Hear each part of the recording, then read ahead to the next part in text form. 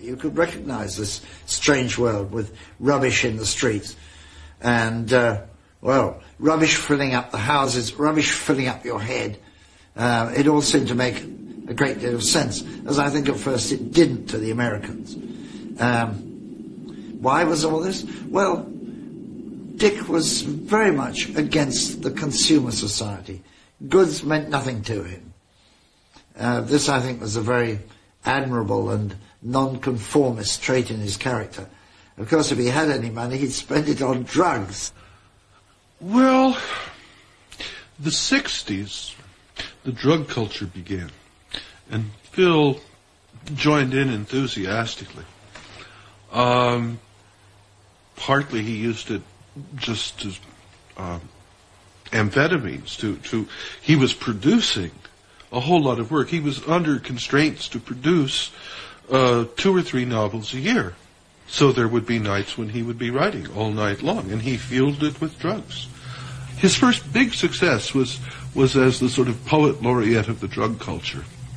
Um, realistic novels about junkies are, are always, you know, depressing, morbid stories of lower class, scuzzy people. Phil wrote stories that that a junkie could read and say, "Hey, what's happening to my mind?" I mean, it, it was the the uh, prose equivalent of a drug trip.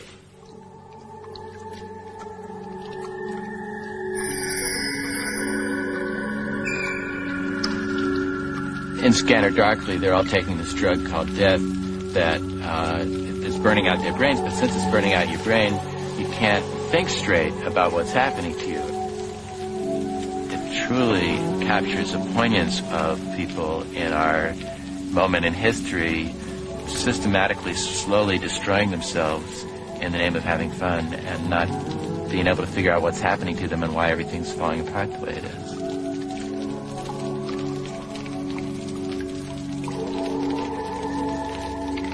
They sleep like Count Dracula, he thought.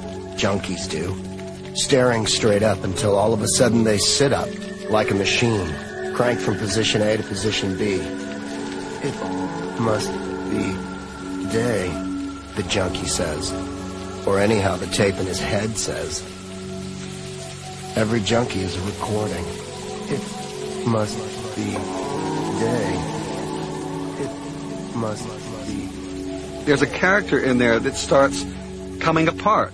And this is a character who is um, a, a, a undercover narcotics officer who ends up investigating himself.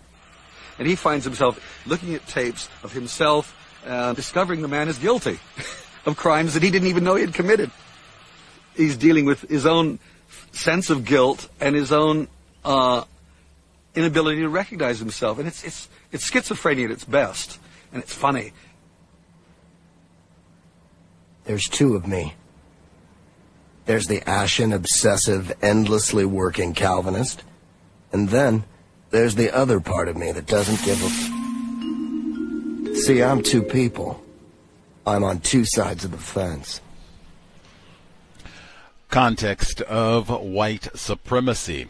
Gus T. Renegade in for another broadcast, hopefully to share constructive information on the system of white supremacy. Today's date, Thursday, February 17, 2022. So I have been told. Uh, this is our third study session on Philip K. Dick's sci-fi classic, The Man in the High Castle. So we are resuming chapter six, uh, kind of the end of chapter six, almost quite at the end, uh, the portion where Mr. Tagomi.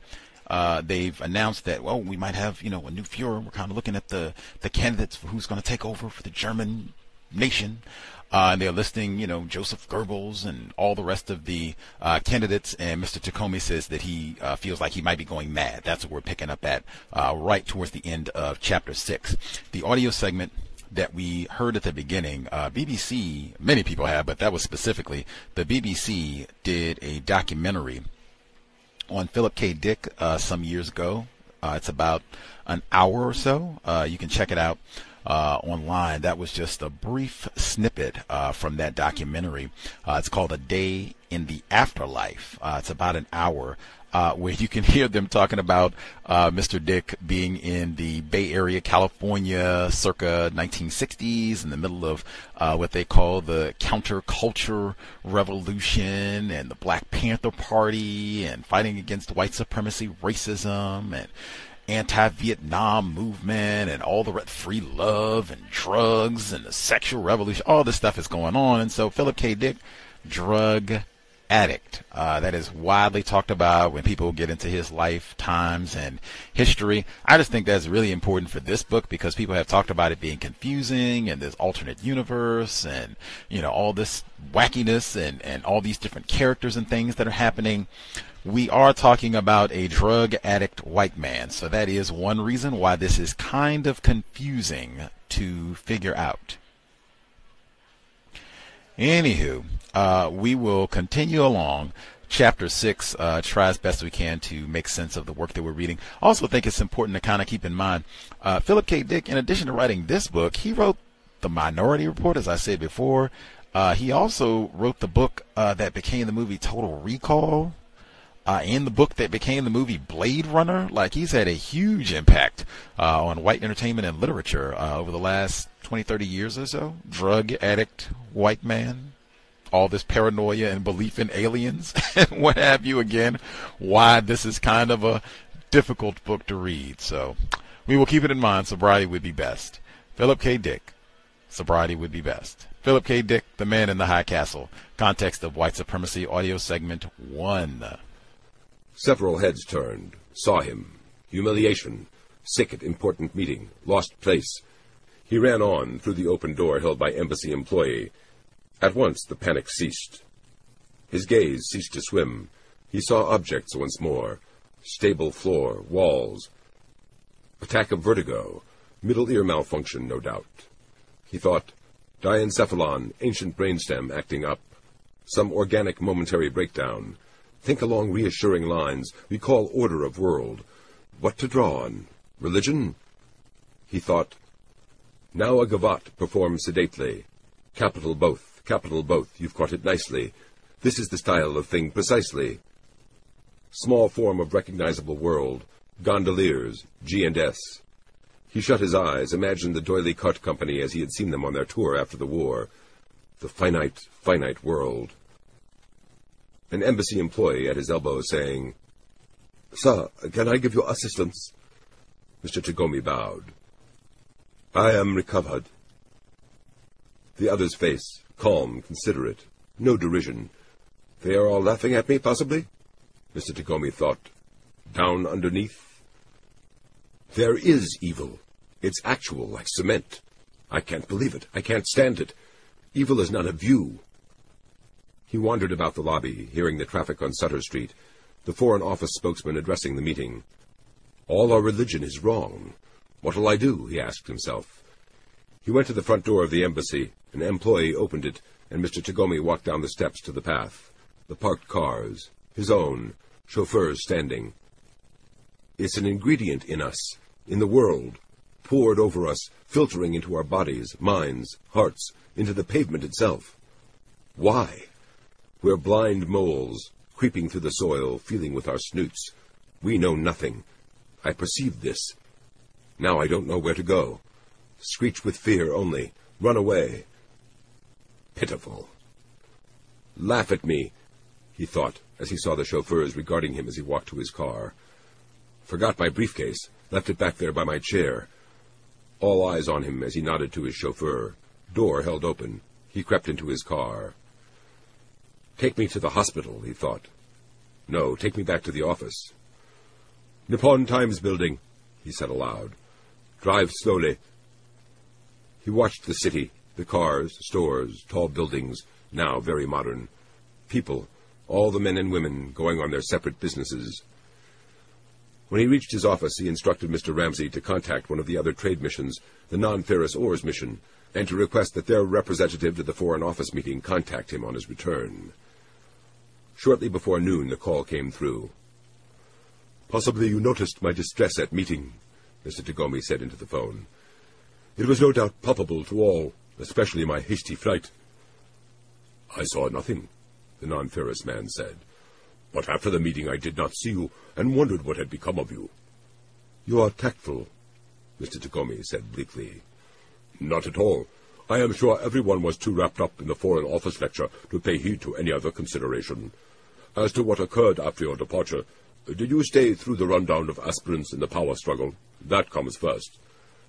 I heard to the part about Dr. Seyss-Inquart. Following that, uh, the speaker dilated on the economic situation over there. The home islands take the view that Germany's scheme to reduce the populations of Europe and Northern Asia to the status of slaves, plus murdering all intellectuals, bourgeois elements, patriotic youth, and whatnot, has been an economic catastrophe. Only the formidable technological achievements of German science and industry have saved them. Miracle weapons, so to speak. Yes, Mr. Tagomi said. Seated at his desk, holding the phone with one hand, he poured himself a cup of hot tea as did their miracle weapons V-1 and V-2 and their jet fighters in the war. It is a sleight-of-hand business, the non-ferrous oarsman said. Mainly, their uses of atomic energy have kept things together, and the diversion of their circus-like rocket travel to Mars and Venus. He pointed out that for all their thrilling import, such traffic has yielded nothing of economic worth. But they are dramatic, Mr. Tagomi said. His prognosis was gloomy, he feels that most high-placed Nazis are refusing to face facts vis-à-vis -vis their economic plight. By doing so, they accelerate the tendency toward greater tour de force adventures, less predictability, less stability in general. The cycle of manic enthusiasm, then fear, then party solutions of a desperate type. Well, the point he got across was that all this tends to bring the most irresponsible and reckless aspirants to the top. Mr. Tagomi nodded. So we must presume that the worst, rather than the best, choice will be made. The sober and responsible elements will be defeated in the present clash. Who did he say was the worst? Mr. Tagomi said. R. Heydrich, Dr. Seyss-Inquart, H. Goring, in the Imperial Government's opinion. And the best? Possibly B. von Schirach and Dr. Goebbels, but on that he was less explicit. Anything more? He told us that we must have faith in the Emperor and the Cabinet at this time more than ever, that we can look toward the palace with confidence. Was there a moment of respectful silence? Yes. Mr. Tagomi thanked the non-ferrous oarsman and rang off. As he sat drinking his tea, the intercom buzzed. Miss Ephreikian's voice came. Sir, you had wanted to send a message to the German consul? A pause. Did you wish to dictate it to me at this time? That is so, Mr. Tagomi realized. I had forgotten. Come into the office, he said. Presently she entered, smiling at him hopefully. You are feeling better, sir? Yes. An injection of vitamins has helped. He considered. Recall to me. What is the German consul's name? I have that, sir. Freiherr Hugo Reiss. Mein Herr, Mr. Tagomi began. Shocking news has arrived that your leader, Herr Martin Bormann, has succumbed. Tears rise to my eyes as I write these words. When I recall the bold deeds perpetrated by Herr Bormann in securing the salvation of the German people from her enemies both at home and abroad, as well as the soul-shaking measures of sternness meted out to the shirkers and traitors who would betray all mankind's vision of the cosmos, into which now the blond-haired, blue-eyed Nordic races have after eons plunged in their... He stopped. There was no way to finish. Miss Ephreikian stopped the tape recorder, waiting. These are great times, he said. Should I record that, sir? Is that the message? Uncertainly, she started up her machine. I was addressing you, Mr. Tagomi said. She smiled. Play my utterances back, Mr. Tagomi said. The tape transport spun. Then he heard his voice, tiny and metallic, issuing from the two-inch speaker. Perpetrated by Herr Bormann in securing the salvation... He listened to the insect-like squeak as it rambled on. Cortical flappings and scrapings, he thought. I have the conclusion, he said, when the transport ceased turning. Determination to exalt and immolate themselves, and so obtain a niche in history from which no life form can cast them, no matter what may transpire. He paused. We are all insects, he said to Miss Ephreikian, groping towards something terrible or divine. Do you not agree? He bowed. Miss Ephreikian, seated with her tape recorder, made a slight bow back. Send that, he told her. Sign it, etc. Work the sentences if you wish, so that they will mean something. As she started from the office, he added, or so that they mean nothing, whichever you prefer. As she opened the office door, she glanced at him curiously. After she had left, he began work on routine matters of the day, but almost at once Mr. Ramsey was on the intercom. Sir, Mr. Baines is calling. Good, Mr. Tagomi thought.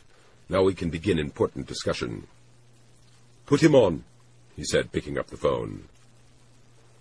Mr. Tagomi, Mr. Baines' voice came. Good afternoon.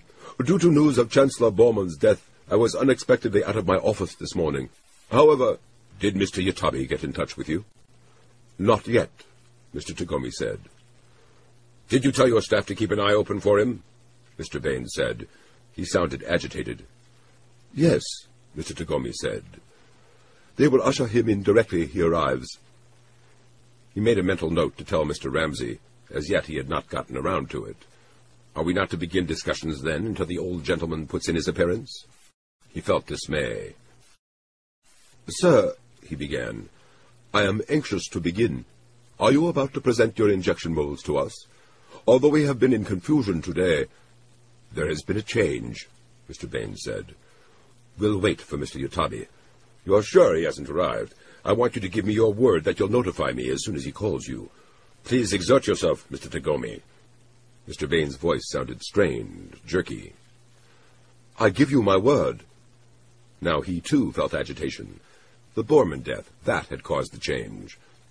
Meanwhile, he said rapidly, I would enjoy your company, perhaps at lunch today, I not having had opportunity to have my lunch yet. Improvising, he continued, Although we will wait on specifics, perhaps we could ruminate on general world conditions. In particular, no, Mr. Baines said. No. Mr. Tagomi thought.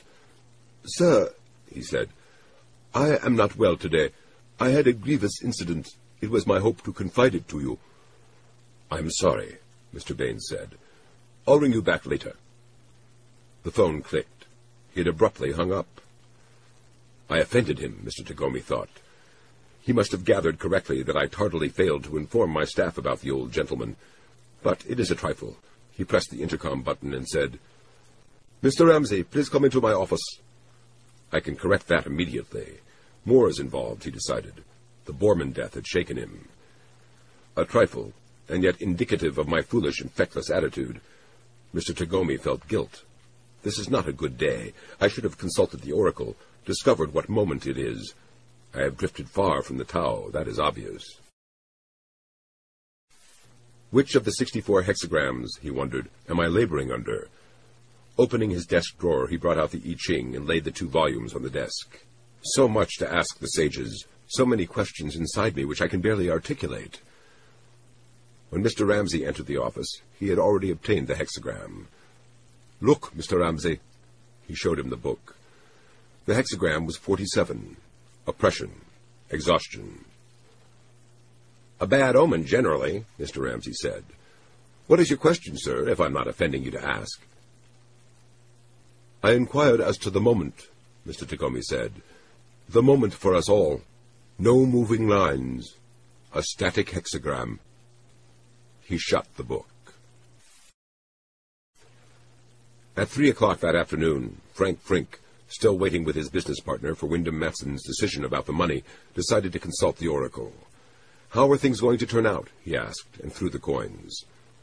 The hexagram was forty-seven. He obtained one moving line, nine in the fifth place. His nose and feet are cut off. Oppression at the hands of the man with the purple knee bands. Joy comes softly. It furthers one to make offerings and libations. For a long time, at least half an hour, he studied the line and the material connected with it, trying to figure out what it might mean. The hexagram, and especially the moving line, disturbed him. At last he concluded reluctantly that the money would not be forthcoming. You rely on that thing too much, Ed McCarthy said. At four o'clock, a messenger from WM Corporation appeared and handed Frink and McCarthy a manila envelope. When they opened it, they found inside a certified check for $2,000. So you were wrong, McCarthy said. Frink thought, then the Oracle must refer to some future consequence of this. That is the trouble. Later on, when it has happened, you can look back and see exactly what it meant. But now... We can start setting up the shop, McCarthy said. Today? Right now? He felt weary. Why not? We've got our orders made out. All we have to do is stick them in the mail. The sooner the better. And the stuff we can get locally we'll pick up ourselves. Putting on his jacket, Ed moved to the door of Frink's room. They had talked Frink's landlord into renting them the basement of the building. Now it was used for storage. Once the cartons were out, they could build their bench, put in wiring, lights, begin to mount their motors and belts. They had drawn up sketches, specifications, parts lists so they had actually already begun. We're in business, Frank Frink realized. They had even agreed on a name. Ed Frank Custom Jewelers. The most I can see today, he said, is buying the wood for the bench, and maybe electrical parts, but no jewelry supplies. They went, then, to a lumber supply yard in South San Francisco. By the end of an hour, they had their wood. What's bothering you?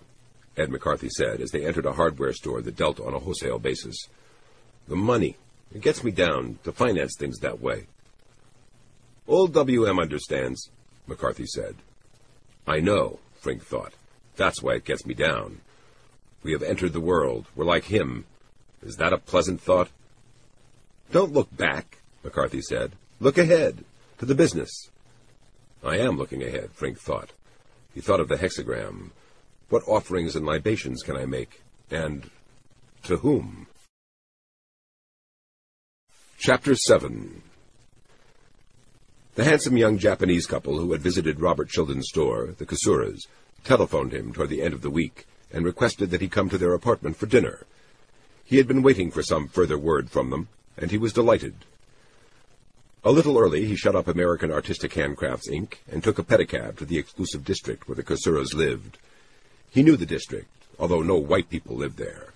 As the pedicab carried him along the winding streets with their lawns and willow trees, Childan gazed up at the modern apartment buildings and marveled at the grace of the designs, the wrought iron balconies, the soaring yet modern columns, the pastel colors, the uses of varied textures. It all made up a work of art. He could remember when this had been nothing but rubble from the war. The small Japanese children out playing watched him without comment, then returned to their football or baseball. But, he thought, not so the adults. The well-dressed young Japanese, parking their cars or entering the apartment buildings, noticed him with greater interest. Did he live here? They were perhaps wondering. Young Japanese businessmen coming home from their offices, even the heads of trade missions lived here. He noticed parked Cadillacs. As the pedicab took him closer to his destination, he became increasingly nervous. Very shortly, as he ascended the stairs to the Kasoura's apartment, he thought, Here I am, not invited in a business context, but a dinner guest. He had, of course, taken special pains with his attire. At least he could be confident of his appearance. My appearance, he thought. Yes, that is it. How do I appear? There is no deceiving anyone. I do not belong here. On this land that white men cleared and built one of their finest cities, I am an outsider in my own country. He came to the proper door along the carpeted hall, rang the bell. Presently the door opened. There stood young Mrs. Kasoura, in a silk kimono and obi, her long black hair in shining tangle down her neck, smiling in welcome. Behind her in the living room, her husband, with a drink in hand, nodding. Mr. Childan, enter. Bowing, he entered. Tasteful in the extreme, and so ascetic. Few pieces, a lamp here, table, bookcase, print on the wall. The incredible Japanese sense of wabi. It could not be thought in English. The ability to find in simple objects a beauty beyond that of the elaborate or ornate. Something to do with the arrangement. A drink? Mr. Kasoura asked. Scotch and soda? Mr. Kasoura, he began. Paul, the young Japanese said, indicating his wife. Betty, and you are... Mr. Childan murmured, Robert. Seated on the soft carpet with their drinks, they listened to a recording of koto, Japanese 13-string harp. It was newly released by Japanese HMV and quite popular. Childan noticed that all parts of the photograph were concealed, even the speaker. He could not tell where the sound came from. Not knowing your appetites in dining, Betty said, we have played safe. In kitchen electric oven is broiling T-bone steak. Along with this baked potato with sauce of sour cream and chives. Maxim utters, no one can err in serving steak to newfound guest first time. Very gratifying, Childan said. Quite fond of steak. And that certainly was so. He rarely had it. The great stockyards from the Middle West did not send out much to the West Coast anymore. He could not recall when he had last had a good steak. It was time for him to graft guest gift. From his coat pocket he brought a small tissue paper wrapped thing. He laid it discreetly on the low table. Both of them immediately noticed, and this required him to say, Bagatelle for you, to display fragment of the relaxation and enjoyment I feel in being here. His hand opened the tissue paper, showing them the gift. Bit of ivory carved a century ago by whalers from New England. Tiny ornamented art object called a scrimshaw. Their faces illuminated with knowledge of the scrimshaws which the old sailors had made in their spare time. No single thing could have summed up old U.S. culture more. Silence. Thank you, Paul said. Robert Childan bowed. There was peace then, for a moment, in his heart. This offering, this, as the I Ching put it, libation, it had done what needed to be done. Some of the anxiety and oppression which he had felt lately began to lift from him.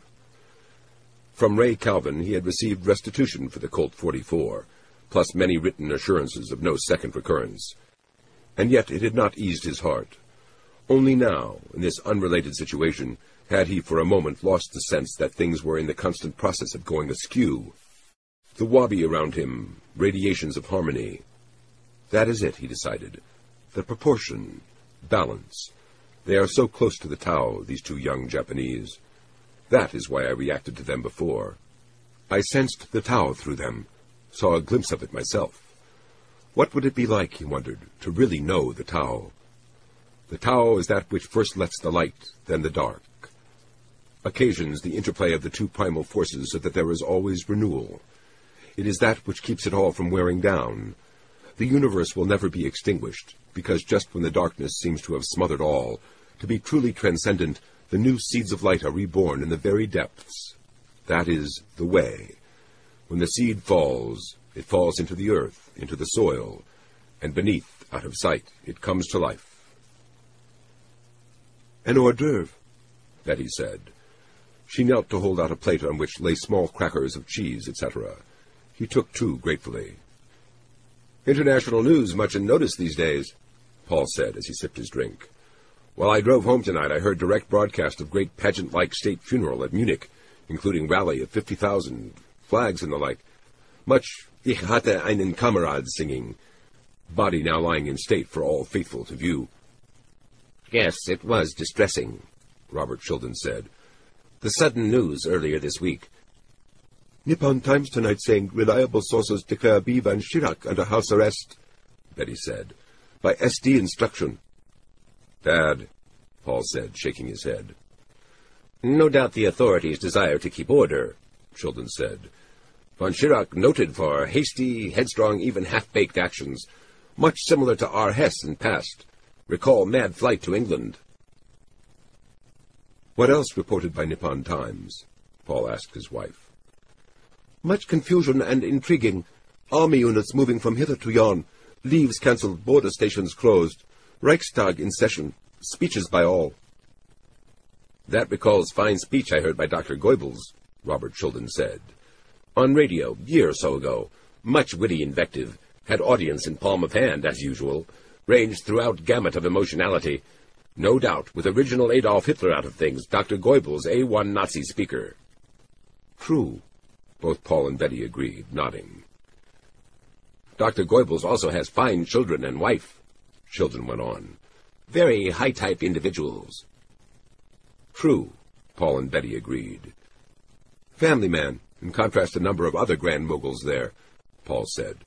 Of questionable sexual mores. I wouldn't give rumors time of day, Childan said. You refer to such as E. Röhm? Ancient history, long since obliterated. Thinking more of H. Goring, Paul said, slowly sipping his drink and scrutinizing it.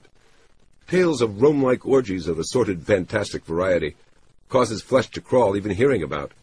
Lies, Childan said. Well, subject not worth discussing, Betty said tactfully, with a glance at the two of them. They had finished their drinks, and she went to refill. Lot of hot blood stirred up in political discussion, Paul said. Everywhere you go. Essential to keep head. Yes, Childan agreed. Calmness and order, so things return to customary stability. Period after death of leader critical in totalitarian society, Paul said. Lack of tradition and middle-class institutions combined... He broke off. Perhaps better drop politics, he smiled.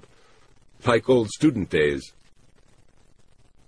Robert Childan felt his face flush, and he bent over his new drink to conceal himself from the eyes of his host. What a dreadful beginning he had made. In a foolish and loud manner he had argued politics. He had been rude in his disagreeing, and only the adroit tact of his host had sufficed to save the evening. How much I have to learn, Childan thought. They're so graceful and polite. And I, the white barbarian, it is true. For a time he contented himself with sipping his drink and keeping on his face an artificial expression of enjoyment. I must follow their leads entirely, he told himself. Agree always. Yet in a panic he thought, my wits scrambled by the drink, and fatigue and nervousness. Can I do it? I will never be invited back anyhow. It is already too late. He felt despair. Betty, having returned from the kitchen, had once more seated herself on the carpet. How attractive, Robert Childan thought again. The slender body, their figures are so superior, not fat, not bulbous, no bra or girdle needed. I must conceal my longing, that at all costs.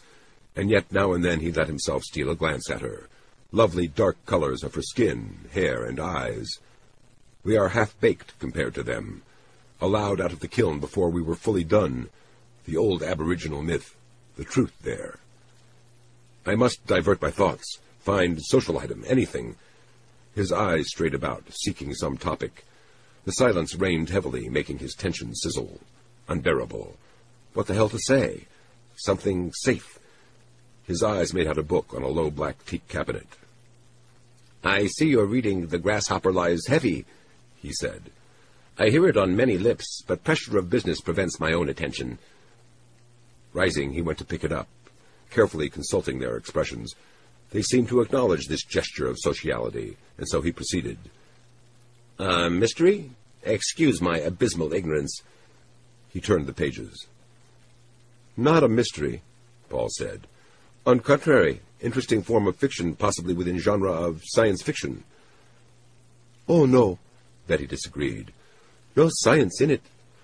No set in future. Science fiction deals with future, in particular future where science has advanced over now. Book fits neither premise. But, Paul said, it deals with alternate present. Many well-known science fiction novels of that sort. To Robert he explained, Pardon my insistence in this, but as my wife knows, I was for a long time a science fiction enthusiast. I began that hobby early in my life. I was merely twelve. It was during the early days of the war. I see, Robert Childan said with politeness. Care to borrow, Grasshopper? Paul asked. We will soon be through, no doubt within a day or so. My office being downtown, not far from your esteemed store, I could happily drop it off at lunchtime. He was silent, and then, possibly, Childan thought, due to a signal from Betty, continued, You and I, Robert, could eat lunch together on that occasion. Thank you, Robert said. It was all he could say, lunch in one of the downtown businessman's fashionable restaurants. He and this stylish, modern, high-placed young Japanese. It was too much. He felt his gaze blur. But he went on examining the book and nodding. Yes, he said. This does look interesting. I would very much like to read it. I try to keep up with what's being discussed. Was that proper to say? Admission that his interest lay in books' modishness? Perhaps that was low place. He did not know, and yet he felt that it was. One cannot judge by a book being bestseller, he said. We all know that. Many bestsellers are terrible trash. This, however, he faltered. Betty said, Most true. Average taste really deplorable. As in music, Paul said. No interest in authentic American folk jazz, as example. Robert, are you fond of, say, Bunk Johnson and Kid Ory and the like? Early Dixieland jazz? I have record library of old such music. Original Gennett recordings. Robert said, Afraid I know little about Negro music. They did not look exactly pleased at his remark. I prefer classical, Bach and Beethoven. Surely that was acceptable. He felt now a bit of resentment. Was he supposed to deny the great masters of European music, the timeless classics, in favor of New Orleans jazz from the honky-tonks and bistros of the Negro Quarter? Perhaps if I play selection by New Orleans Rhythm Kings, Paul began, starting from the room, but Betty gave him a warning look. He hesitated, shrugged. Dinner almost ready, she said. Returning, Paul once more seated himself. A little sulkily, Robert thought, he murmured, Jazz from New Orleans, most authentic American folk music there is. Originated on this continent. All else came from Europe, such as corny English-style lute ballads. This is perpetual argument between us, Betty said, smiling at Robert. I do not share his love of original jazz. Still holding the copy of The Grasshopper Lies Heavy, Robert said, What sort of alternate present does this book describe? Betty, after a moment, said, One in which Germany and Japan lost the war. They were all silent. Time to eat, Betty said, sliding to her feet. Please come, two hungry gentlemen businessmen. She cajoled Robert and Paul to the dining table, already set with white tablecloth, silver, china, huge rough napkins, and what Robert recognized as early American bone napkin rings. The silver, too, was sterling silver American. The cups and saucers were Royal Albert, deep blue and yellow. Very exceptional. He could not help glancing at them with professional admiration. The plates were not American. They appeared to be Japanese. He could not tell, it being beyond his field. That is Imari porcelain, Paul said, perceiving his interest. From Arita, considered a first-place product, Japan. They seated themselves. Coffee? Betty asked Robert. Yes, he said. Thanks. Toward end of meal, she said, going to get the serving cart. Soon they were all eating. Robert found the meal delicious. She was quite an exceptional cook. The salad in particular pleased him. Avocados, artichoke heart, some kind of blue cheese dressing.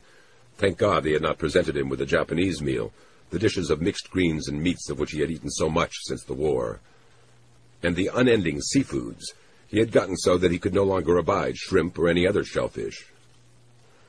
I would like to know, Robert said, what he supposes it would be like in a world where Germany and Japan lost the war. Neither Paul nor Betty answered for a time. Then Paul said at last, Very complicated differences. Better to read the book. It would spoil it for you, possibly, to hear. I have strong convictions on the subject, Robert said. I have frequently thought it over. The world would be much worse. He heard his voice sound out firm, virtually harsh. Much worse. They seemed taken by surprise. Perhaps it was his tone. Communism would rule everywhere, Robert continued.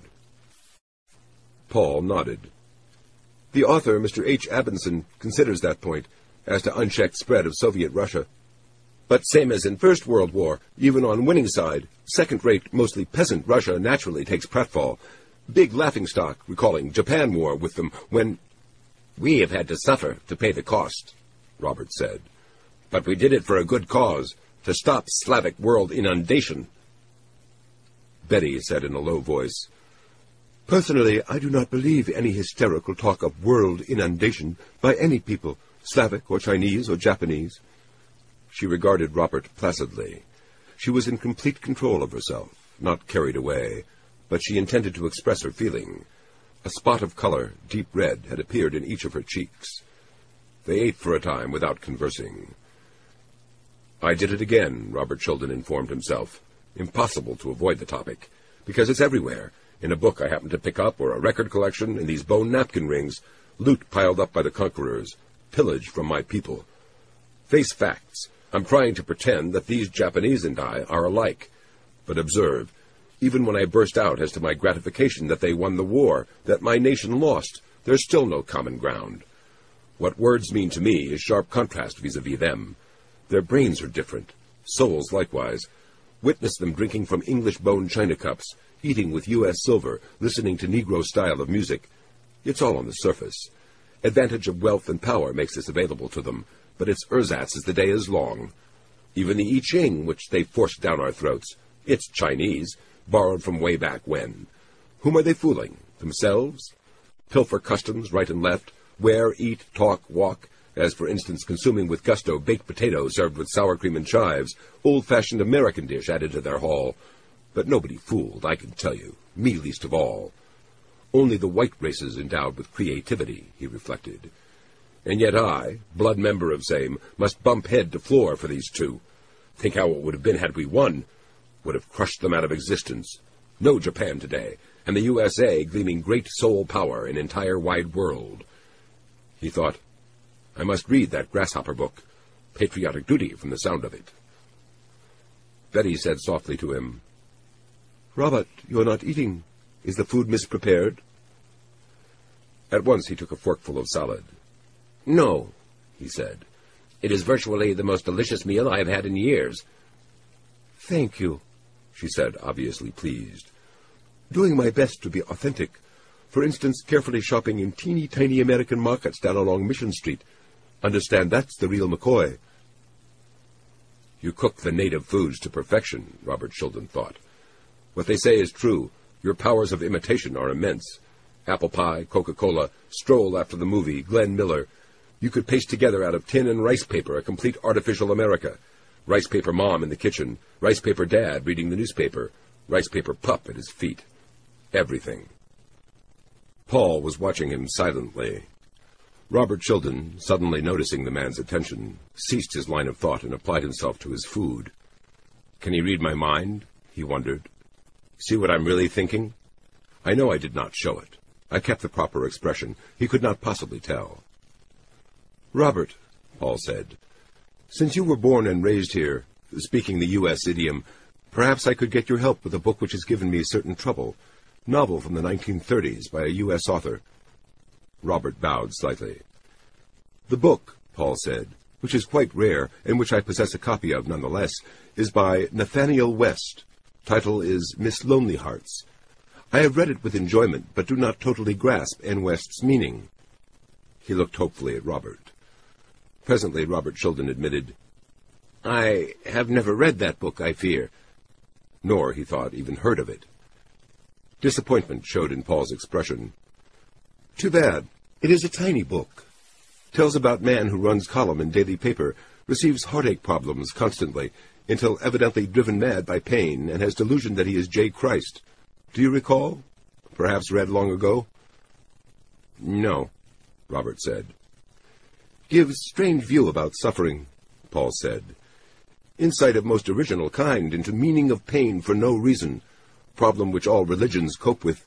Religions such as Christian often declare must be sin to account for suffering. N. West seems to add more compelling view of this over older notions. N. West possibly saw could be suffering without cause due to his being a Jew.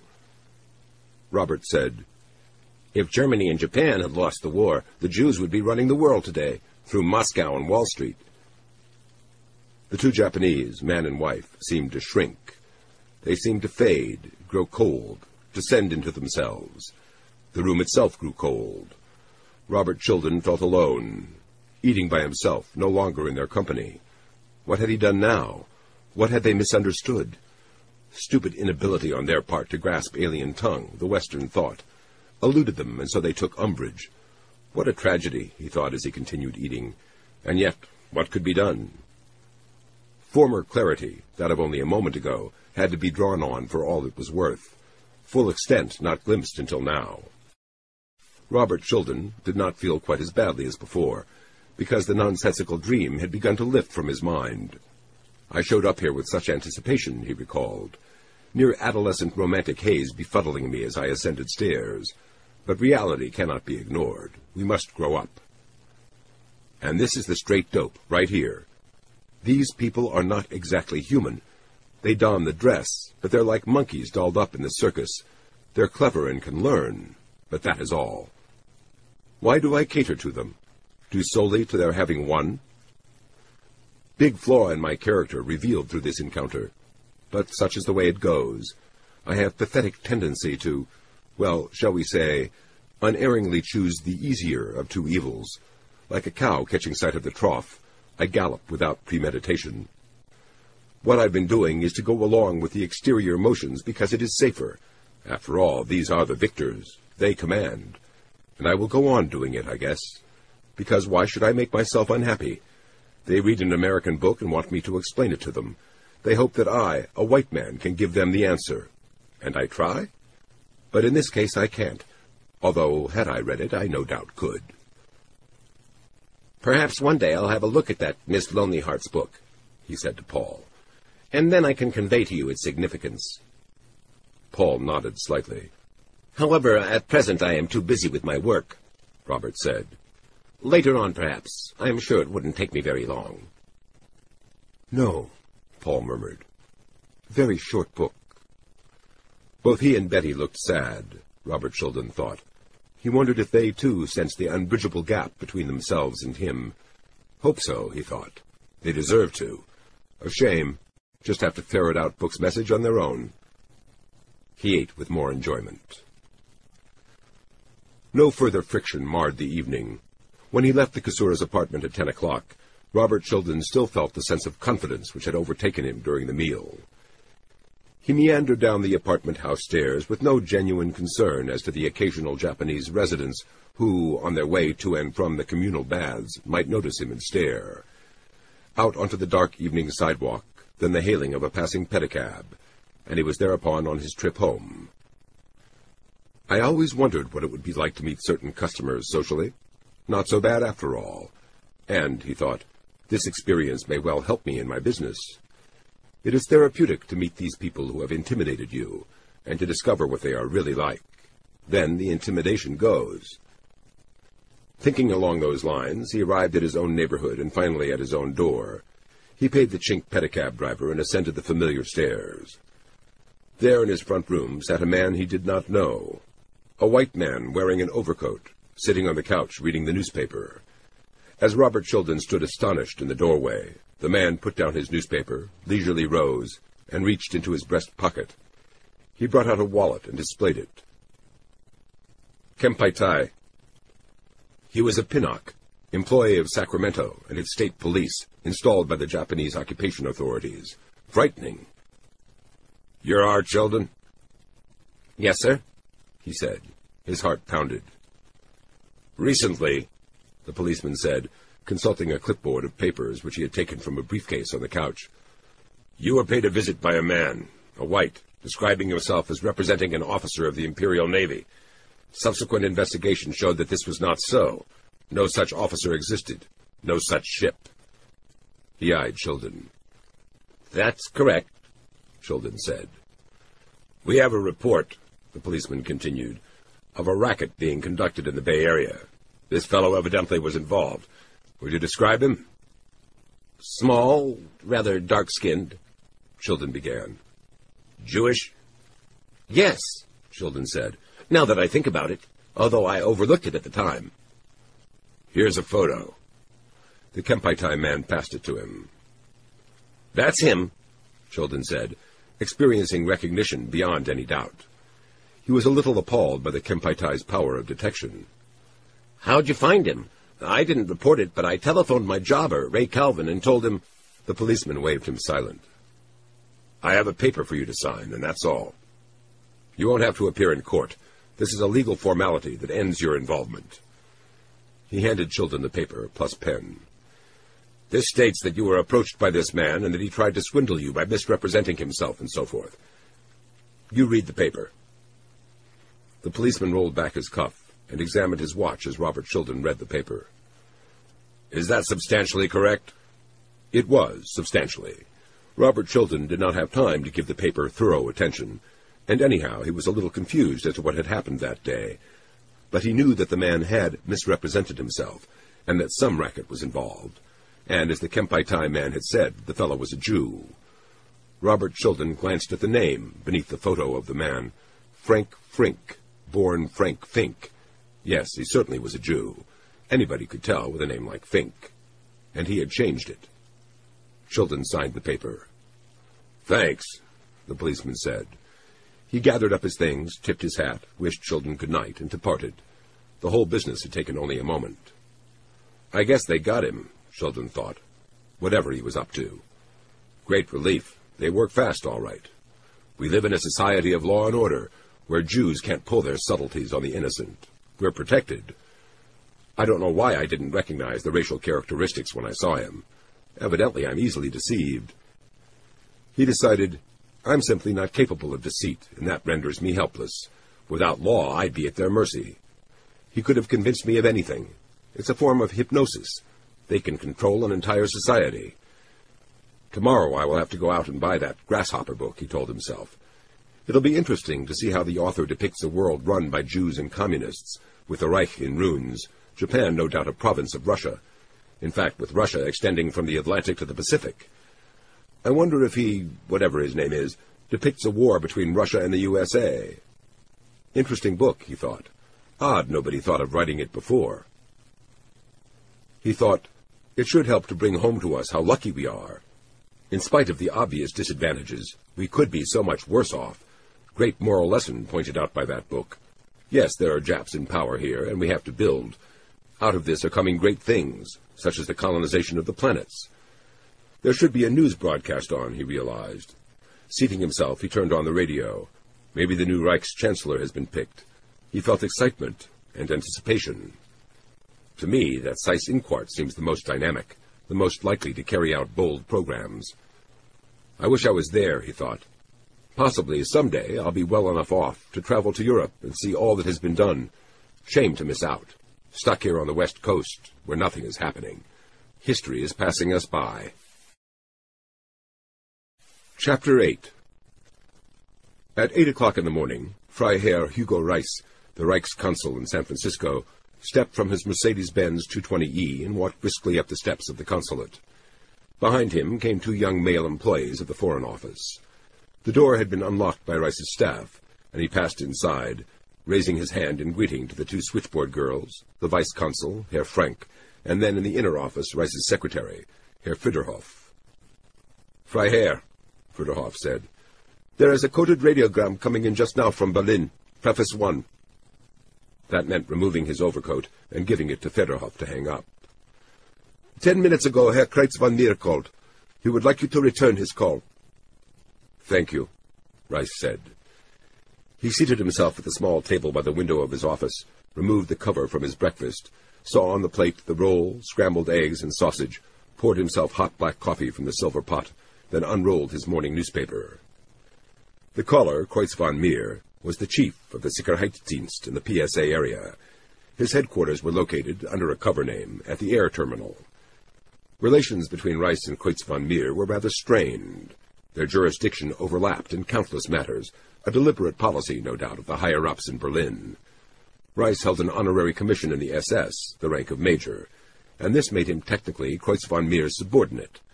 The commission had been bestowed several years ago, and at that time Reiss had discerned the purpose but he could do nothing about it. Nonetheless, he chafed still. The newspaper, flown in by Lufthansa and arriving at six in the morning, was the Frankfurter Zeitung. Reiss read the front page carefully. Von Schirach under house arrest, possibly dead by now. Too bad. Goring residing at a Luftwaffe training base, surrounded by experienced veterans of the war, all loyal to the Fat One. No one would slip up on him. No S.D. Hatchetman. And what about Dr. Goebbels? probably in the heart of Berlin, depending as always on his own wit, his ability to talk his way out of anything. If Heydrich sends a squad to do him in, Reiss reflected, the little doctor will not only argue them out of it, he will probably persuade them to switch over, make them employees of the Ministry for Propaganda and Public Enlightenment.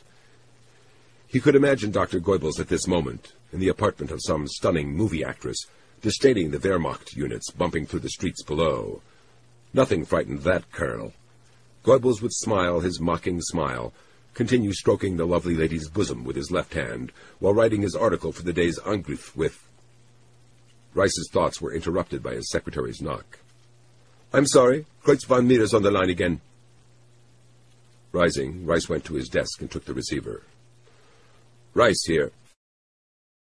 The heavy Bavarian accents of the local SD chief. Any word on the Abwehr character? Puzzled, Reiss tried to make out what Kreuz vom Meere was referring to. Hmm, he murmured. To my knowledge, there are three or four of the characters on the Pacific coast at the moment. The one traveling in by Lufthansa was in the last week. Oh, Reiss said. Holding the receiver between his ear and shoulder, he took out his cigarette case. He never came in here. What's he doing? God, I don't know. Ask Canaris. I'd like you to call the Foreign Office and have them call the Chancellery and have whoever's on hand get hold of the Admiralty and demand that the Abwehr either take its people back out of here or give us an account of why they're here. Can't you do that? Everything's in confusion. They've completely lost the Abwehr men, Reiss decided. They, the local SD, were told by someone on Heydrich's staff to watch him, and they missed a connection. And now they want me to bail them out.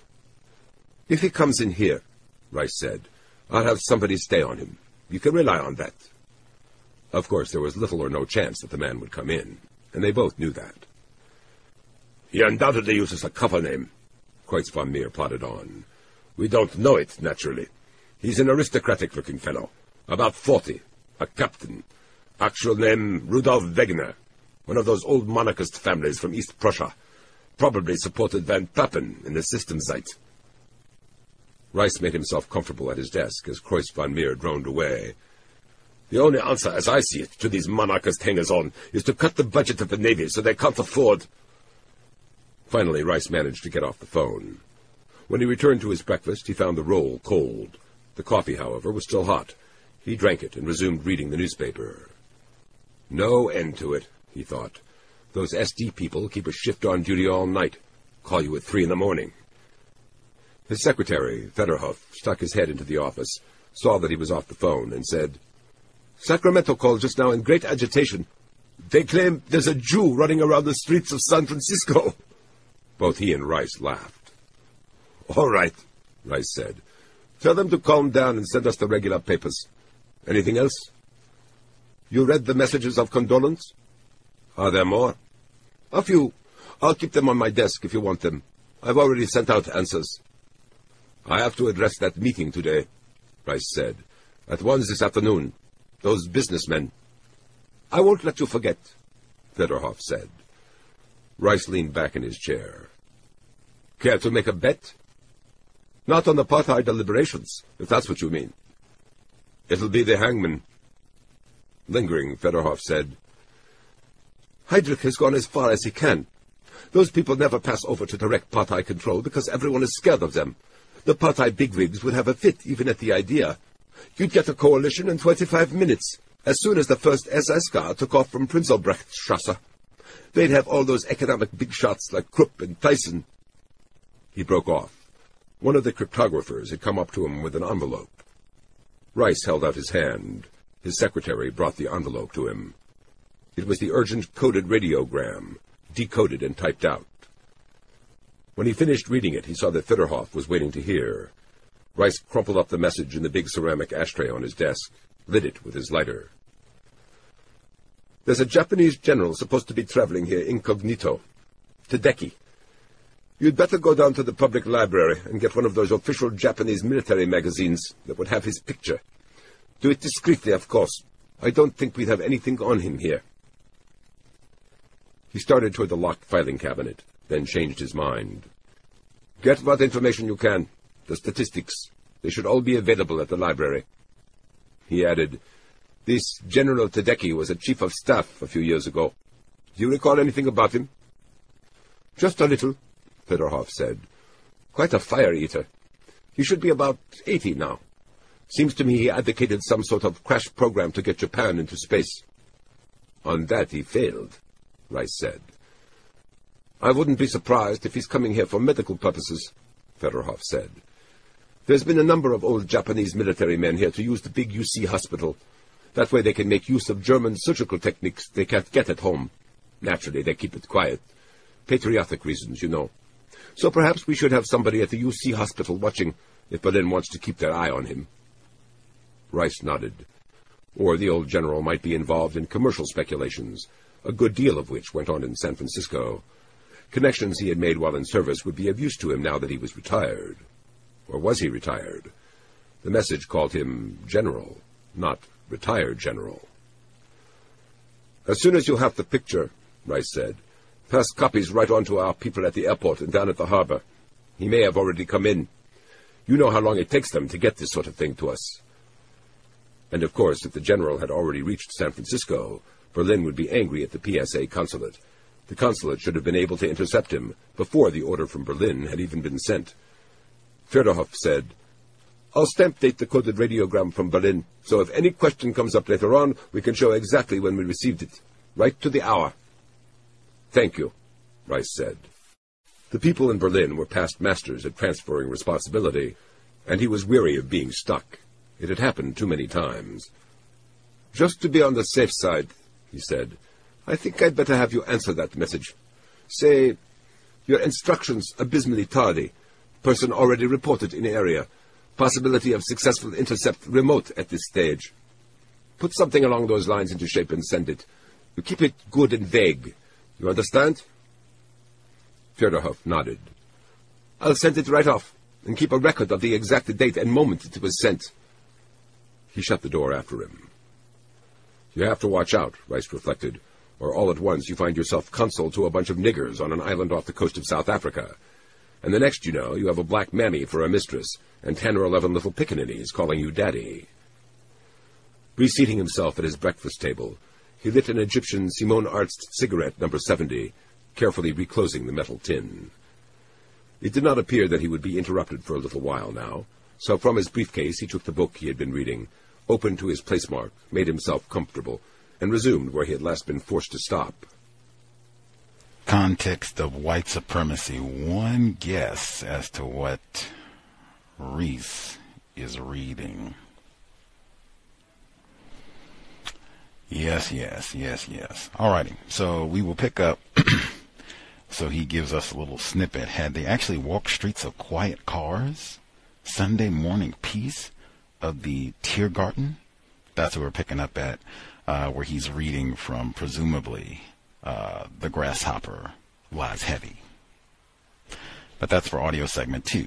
The number to dial if you have commentary to share is 720 716 7300.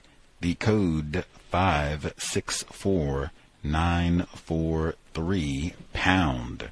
Press star 61 if you would like to participate. Do they use the term pickaninny in the Amazon series of this book?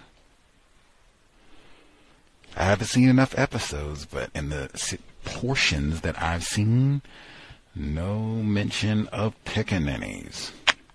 Number again, 720-716-7300. The code 564943 pound. Press star 61 if you would like to participate. I did post a study guide. I posted it uh, all over social media, and I believe it's linked uh, for in the description for this episode. If you didn't get it, drop me an email until justice at gmail.com.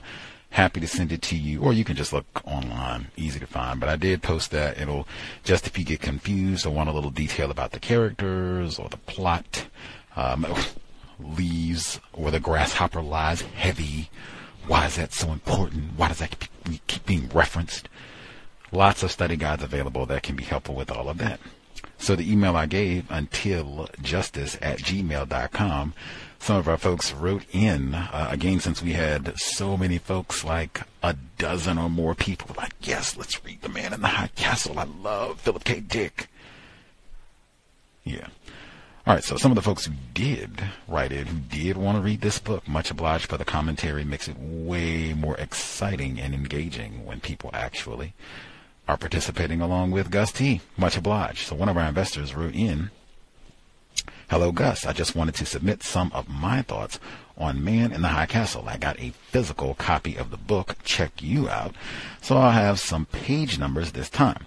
After the death of the Reich Chancellor Martin Bormann, the Japanese showed just how differently they are from people classified as black. They called a meeting, said what they were going to do, and they did just that. Page 96. This meeting, which will not last long, underline, is for the purpose of informing you of our evaluation of several contending factions in German political life who can now be expected to step forth and engage in no-holds-barred competition for a spot evacuated by Hermann Goring. Bear with familiar details, please. And they proceeded to share the information gathered and the thorough analysis that had been made. I was impressed with the sharing of constructive information and also that there didn't seem to be any time wasted with bickering or non-constructive speech of any sort. The word Sybaritic was used on page 97 while describing Hermann Goring, the Fat One. I had to look this up as I was unfamiliar with this term. Always a great idea when reading. Expand your vocabulary and generally you will get a better understanding of the material being read. A sybarite is defined as a person who is self-indulgent in their fondness for sensuous luxury, and sybaritic is the adjective used by, used to describe such a person. This man, although said to be unhealthy, possibly even morbidly so in terms of appetites, resembles more the self-gratifying ancient Roman Caesars whose power grew rather than abated as age progressed freight trains of stolen valuables made way to his private estates over military needs in wartime. Our evaluation, this man craves enormous power and is capable of obtaining it. Most self-indulgent of all Nazis. Wow. What a statement and how. And is in sharp contrast to the late H. Himmler, who lived in personal want at low salary. Herr Goring, representative of spoils mentality, using power as means of acquiring personal wealth, primitive mentality, even vulgar but quite intelligent man, object of his drives, self-glorification in ancient emperor fashion. Almost the entire description of Hermann Goring made me think of Donald Trump. Also, that section right there made me think of Neely Fuller Jr. when he says, the entire goal of racist man, racist woman, fun, personal glory, material gain. Doesn't that sound just like it? Self glorification in ancient emperor fashion. Continuing, uh, reminds our investor, she said it reminded her of Donald Trump, the grab him by the pussy locker room talk, the gold interior decor of his properties, the eating of KFC on Air Force One, having all the McDonald's stacked up for a sports team that visited the White House, the blatant attempt to retain office after he lost the so-called election, and those military parades he wanted. Oh boy. Herman Goring, Donald Trump. It's all the same throughout the system of white supremacy. Indeed, page 100, there is evil. It's actual, like cement. Mr. Tagomi might be correct with his thought. I don't like to use terms like good and evil because they seem spiritual and the terms correct and incorrect are more mechanical, but a person who would harm another person for, what did I just say? Fun, glory, and or material gain is taking action that is beyond incorrect. So white supremacy is in a category of its own. No other group of people have thought up something as harmful and powerful as whites. So maybe evil is an accurate term to describe the way whites harm non-white people in all areas of people activity. We're blind moles creeping through the soil, feeling with our snoots we know nothing. I perceive this now I don't know where to go. Pitiful. This passage made me remember the immense sadness I felt when I began to see white supremacy as a system. I had heard Mr. Fuller speak, but it took me a while to understand what he was actually saying and just how awesome. Important word to look up. The problem is, was. I felt almost alone with that knowledge. United Independent, and when I tried to communicate it to other people classified as black, it seemed like they didn't comprehend what I was trying to share. Hmm. And beyond that, they wanted to shut me up. Coon. Reading that passage brought tears to my eyes. I am so thankful the cows exist. Oh, if it helps me to know that I am not alone in my thoughts and observations and that I am not crazy. Now, I do tell listeners who say that frequently, it could be that Gus T is crazy and we just have a little pool of loony folks who dial in and support the cows and have done so for 13 years. That does happen. Sometimes all the nutty folks pile up in one end of the loony bin. Hopefully that's not here. Continuing, page 104. We're all sin- we are all insects. He had he said to Miss Ephreikian, groping to, groping towards something terrible or divine. Do you not agree? Wow. I do agree. The white supremacists are working towards something terrible, and the non-whites who are trying to counter racism are working towards something that could be seen as divine. If your entire existence has been in a system of injustice, then working to produce justice is as close to divine as one could get in my opinion and producing justice would be divine. Also, work the sentences so that they will mean something or they mean nothing, whichever you prefer. This passage shows a profound understanding of the usage of words as tools that can either communicate or confuse. Last week, I remember somebody saying they weren't sure who the protagonist was. We did. At this point, I think Mr. Tagomi is the protagonist also is Miss Ephreikian white or non-white? Has the text made it clear? I'm not sure. I'm going to have to go back and look at that to see. Has she been clearly identified as a, a white person or a non-white person? Although that is a really interesting name, last name, surname, Ephreikian. Continuing, chapter 7, page 108. A little early, he shut up American Artistic Handcrafts Inc. and took a pre pedicab to the exclusive district where the Kasouras lived. He knew the district, although no white people lived there. Philip K. Dick keeps writing these sorts of lines. They are things that non-white people think and feel in the world we live in. It illustrates that white people are not ignorant about racism. Believe it. They understand exactly what it's like for non-whites in a system of racism, white supremacy, and Mr. Dick is twisting it around to remind whites that if they aren't dedicated to racism, white supremacy, this is how it could be for them. Incidentally, it's like that in all of the sci-fi books hyphen movies that are similar to this book that came out at the exact same time period. Planet of the Apes, even uh, the Turner Diaries, which came out a little bit later, but they're all the same in terms of the white authors, the way that they write about the white psyche when there's no white supremacy racism. exact same. White people dash self-esteem and all the rest of it and how the same way that they would behave and feel the way that we behave and respond to being dominated and terrorized. They're not ignorant, but it's in, you'll see that in all of those books we talked, we've read, the Turner Diaries. Let's see uh, lost my place. Oh, okay. Uh, twisting around, uh, twisting around. This is what it could be like for them. If we don't mistreat them, they'll mistreat us.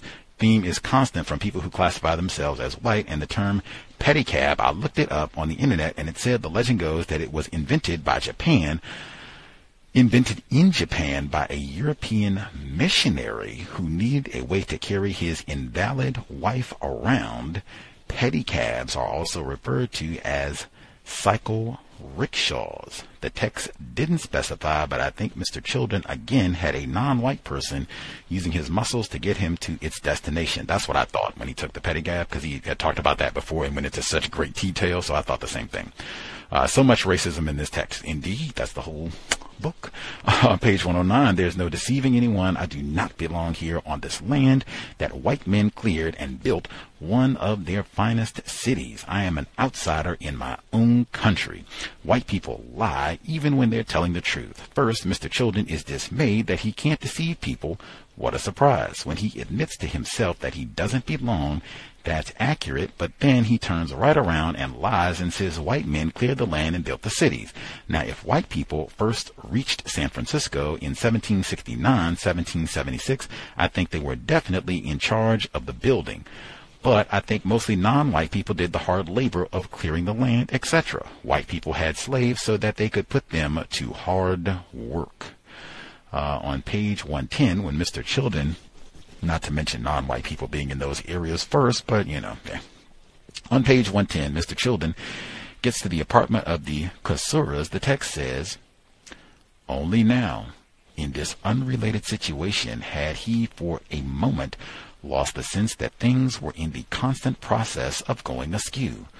The wabi around him, radiations of harmony, that is it. He decided the proportion, balance. They are so close to the Tao, these two young Japanese. That is why I reacted to them before. I sensed the Tao through them, saw a glimpse of it myself. What would it be like, he wondered, to really know the Tao? translate. What would it be like to be in balance with the universe? White people are so out of balance with the universe. Yurugu was the first book that we read in the book club. Major theme of that. That's what Yurugu means in essence. And it seems that they don't try to get in balance. Yurugu. But they do see when other people have this quality and they lack. I think this is one of the things that white people are very good at looking at other groups of people and really noticing the things that they have that whites don't whether it's skin, pigment, a warm place to reside, a sense of balance, an abundance of natural resources, whatever, and they actually dedicate themselves to using those differences to subjugate and or mistreat non-whites. Uh, wait a minute. There's a passage I think that I highlighted that where that is stated explicitly. Let me see if I can find it really quick because I highlighted it. Let's see. So much. I took so many notes too. Let's see it, it reminded me of uh, hmm. Hmm. If I can't find it super quick then I'll come back to it later but I'm very sure that I highlighted it. It reminded me of Mark Twain and his passage about pigment. Um, yeah, I will find it. But they, he, he said that himself when he came in and he was all concerned, Mr. Childan, about saying the correct thing and all that when he's visiting the Kasouras and he's all stealing glances at Betty, his wife, like, ooh, she's so dark. And you know, that's exactly where it is. That's exactly where it is. I have to, uh, find it. Uh, ah. Anyway, I'll get to the folks who dialed in and then I'll be able to track it down. But it's right there, chapter seven. We just read it. Uh, I thought I had highlighted it, but I guess I missed it when I got, oh, did I highlight it? There it is. Dang it, I highlighted the one around it. He says, Betty, having returned from the kitchen, had once more seated herself on the carpet. How attractive. Robert Childan thought again, the slender body. Their figures are so superior. I highlighted it. Not fat, not bulbous, no bra or girdle needed. I must conceal my longing that at all that at all costs. And yet now and then he let himself steal a glance at her lovely dark colors of her skin, hair, and eyes. We are half baked. That's uh, a delectable Negro, right? Half baked cooking, yeah. We are half baked compared to them, allowed out of the killing before we were fully done. The old Aboriginal myth, the truth, there.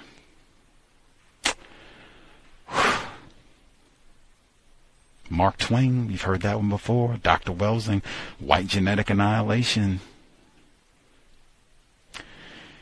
Anywho, uh, the number again, 720-716-7300. The code 564-943 pound. Press star 61 if you would like to participate. Kiln, K-I-L-N, he said, allowed out of the kiln is a furnace or oven for burning, baking, or drying, especially one for calcining lime or firing pottery. Hmm. Interesting. Very interesting, Philip K. Dick. Anywho, uh, let's see. Folks have any thoughts who dialed in uh, on this portion of the reading uh, that we covered this week? Uh, also, if any folks have any thoughts on, uh, they said, uh, do we think there are any differences between this world, Philip K. Dick's world, and the actual universe? differences, comparisons different, like how things are, how different are things between the two. It's kind of one to think about as we proceed. Let's look. Spectators, lots of spectators. Point that out again. We had dozens of folks asked to read this book. Then spectate. Definitely no fun to read when folks spectate. Get to some of my notes, the other emails, and then we'll get to the remainder of the text. Let's see. So the notes that I took this week, we came in like right at the end of chapter six. We just couldn't finish the whole thing last week. So from today, wow, I took a lot of notes this week. Uh, okay. So today, there's so much like focus on like appearance and making sure that you do the correct thing. And I mean, hey, there's a lot of that right now, 2022 for sure. But there's so much like constant, like, ooh, can't do this, and ooh, can't let the niggers uh, see me carry my own packet bag, and ooh, you know, I, I, Mr. Tagomi, like, oh, I got sick in front of everyone. Oh, a lost face, how disgraceful. Like, there's so much of that, like, so many characters. Mr. Childan's talking about that when he goes into the non-white neighborhood, uh, just on appearance, and you got to do the right thing, can't mess up, say the wrong thing. Particularly having lots of white people be concerned about this. You have a lot of white people concerned about this now, but hyper concerned about this. A lot of Asian people, so-called in the in the book, concerned about it too. The white uh, U.S. people, be specific, who are concerned about how they appear in public. Uh, he says next. Uh, when they're talking about the what's going to happen, they think with the Nazi Party as they look for the new leader, they say, they say the cycle of manic enthusiasm then fear, then Partey's solutions of desperate of a desperate type. Well, the point he got across was that all this tends to bring the most irresponsible and reckless aspirants to the top. Now, wow, we pitchfork Ben Tillman, Adolf Hitler, Donald Trump, lots of different examples of this type of person coming in to save the day in the system of racism, white supremacy. Uh, I thought it was important uh, when the Japanese are kind of given their uh, evaluation of who's going to be in charge, and they say uh, who is going to be the worst. Mr. Tagomi asked, and they said uh, R. Heydrich, Dr. Seyss-Inquart, or Hermann Goring in the imperial in the imperial government's opinion. Again, all these folks are mentioned last week. These are all real people. Uh, you can go and, and check online, which I did last week. Uh, there's extensive information on all of these folks. Sometimes whole books and reports that you can check out. How depends on how much time you want to investigate. Uh, specifically, Dr. Seyss-Inquart was the Nazi German who was mentioned last week. He was uh, found guilty at the Nuremberg trials and executed. As a matter of fact, Mr. Seyss-Inquart. He's the one that they mentioned last week who came up with a program to exterminate the population in Africa that they hadn't completed yet, but he's credited with that being one of his ideas and some of the other populations of non-white people, so-called Jews. Let's see. Next.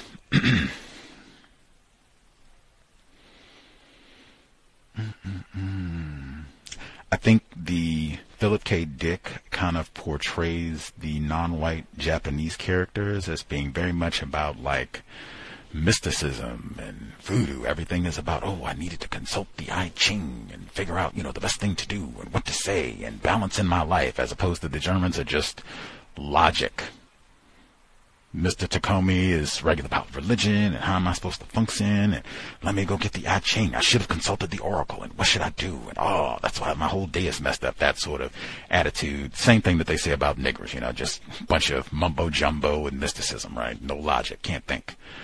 Uh, chapter seven. Uh, so this is when Mr. Childan is going to the Kasouras, non-white, and he goes to the neighborhood. This passage reminded me so much of Toni Morrison's The Bluest Eye, which we read way back 10 years ago. Uh, the second book that we read in the book club, where she has the passage where Pecola Breedlove, she goes to, I think it's her mom's house, uh, to, she goes to her mom's house. She, or no, no, no. Her mom is working at a white person's house. Uh, where Pecola, she's staying with her black friend the black friend's mom is working at the white people's house, so they have to go to the white neighborhood, and it is amazing. Uh, the late grandsister Toni Morrison, she just she does such an amazing, way better than Philip K. Dick of painting a picture of how she said it seemed like it was a whole new universe when they went to where the white people lived and the trees seemed taller and greener and the air seemed crisper and cleaner. like it was just amazing. Um, but it's the same type of writing where he talks about being here and the winding streets and the lawns and the children. Like, what is he doing here? But it's not what is this nigger doing? It's what is this white man doing here? He doesn't belong. Like, what? What is going on? same thing in Planet of the Apes, though, right? Same thing in Turner Diaries. Same thing in Melanin Apocalypse, Daryl Bain, lots of those that came out this same time period. Uh, I was curious when he said the Japanese children were playing football. Like, did he mean soccer? Or like American brain damage football? I wasn't, you know, I don't think they play foot like brain damage American football in Japan. Like, I don't think they do that. Um, let's see. So, Childan, he says he could be confident of his appearance. See, my appearance, he thought, yes, that is it. How do I appear? There is no deceiving anyone. I do not belong here. Woo.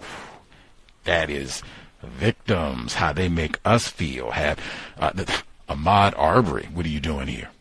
Even if you do live here, what are you doing here? Might have to shoot you. Delivery driver might have to shoot you. We'll talk about that tomorrow.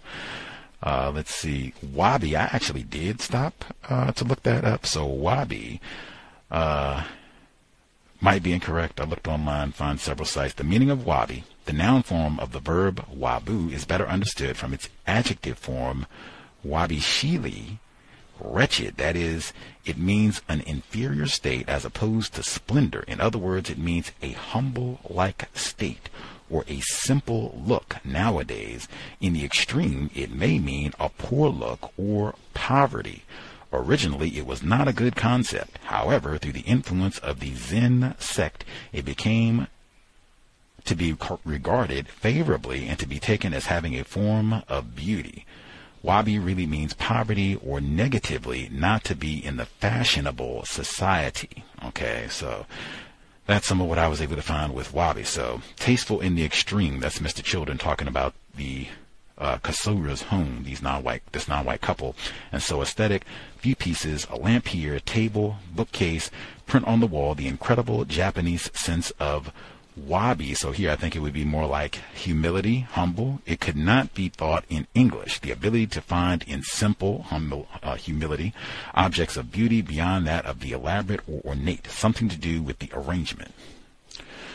Uh, let's see. Next. He gives them a gift of carved ivory. I thought that was important as well. White uh, whiteness as this gift of graft uh, as well. Like they have all this graft uh, that I guess is supposed to be illegal, but there's so much of it where you have to uh, bribe people and you know try to get them to curry favor uh, with folks. Seems like there's a lot of that. Uh, let's see. Mm-mm.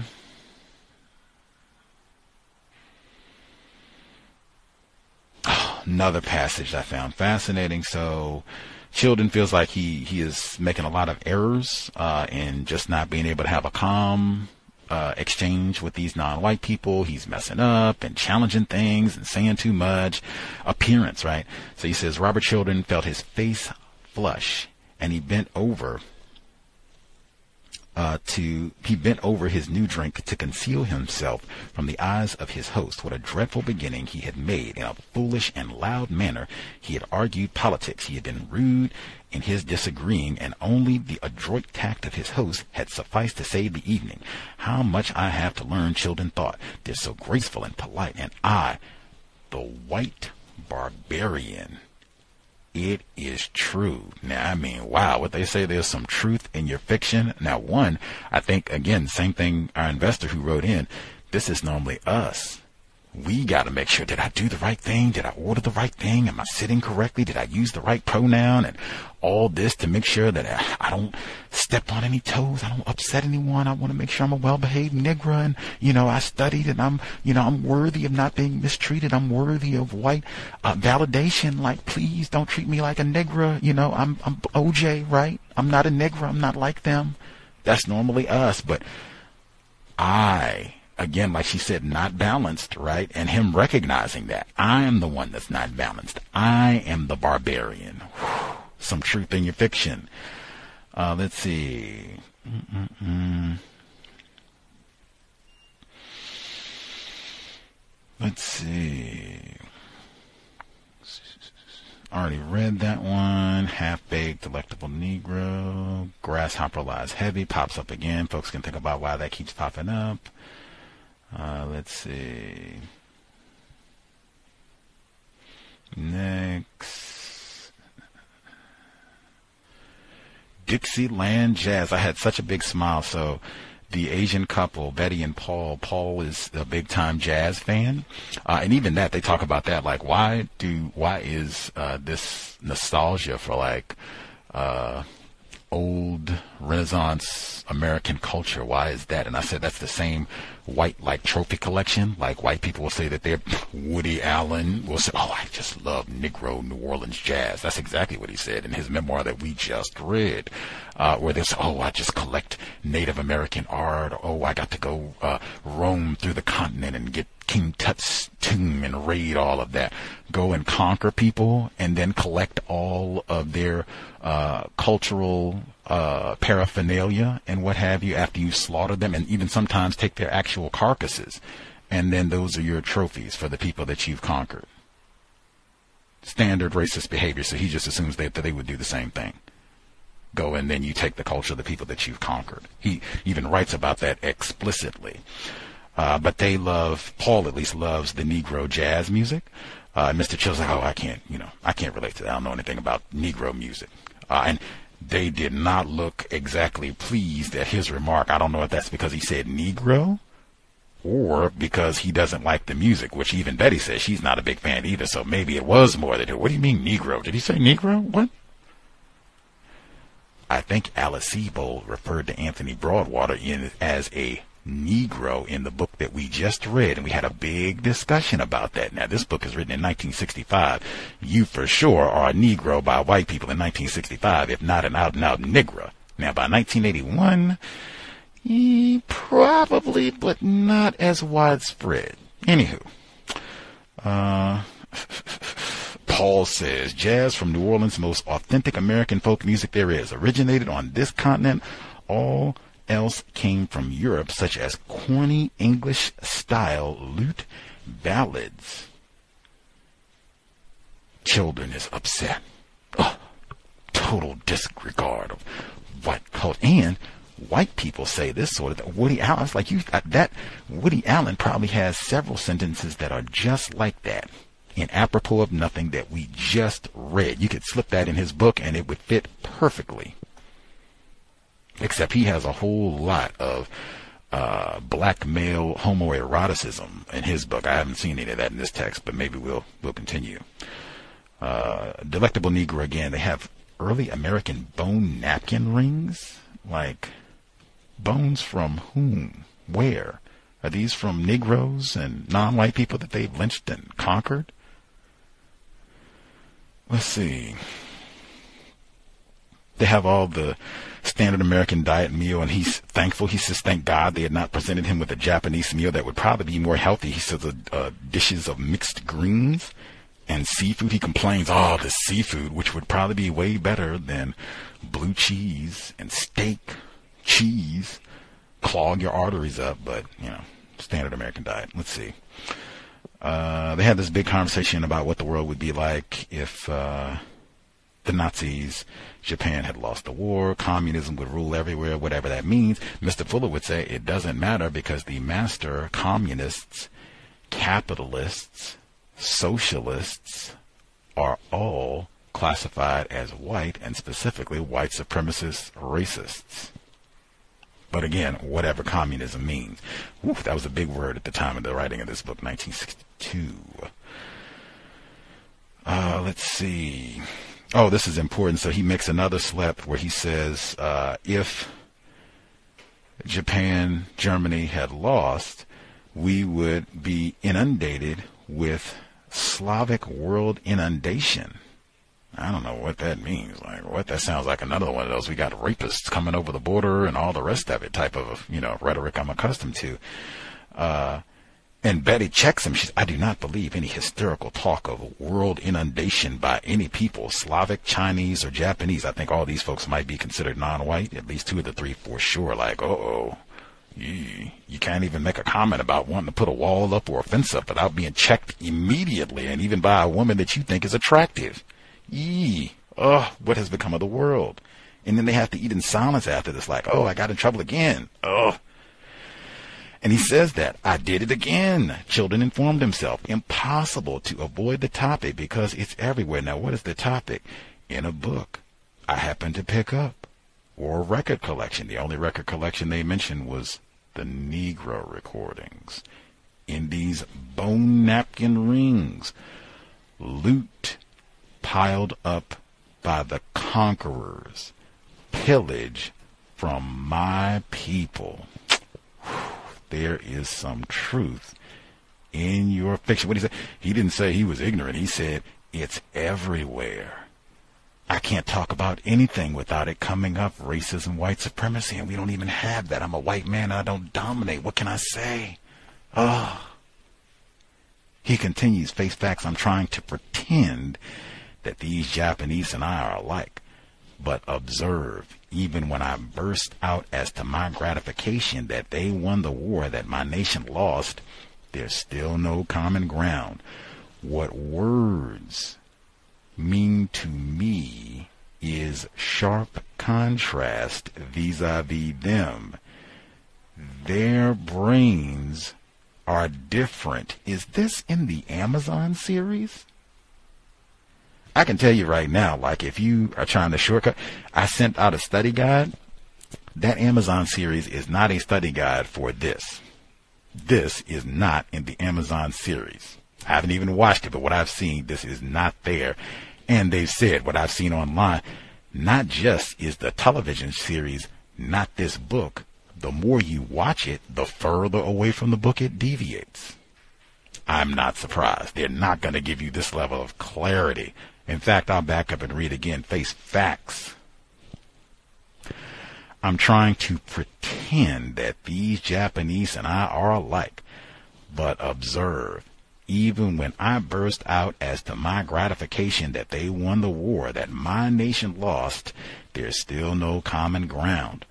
What words mean to me is sharp contrast vis-a-vis them their brains are different.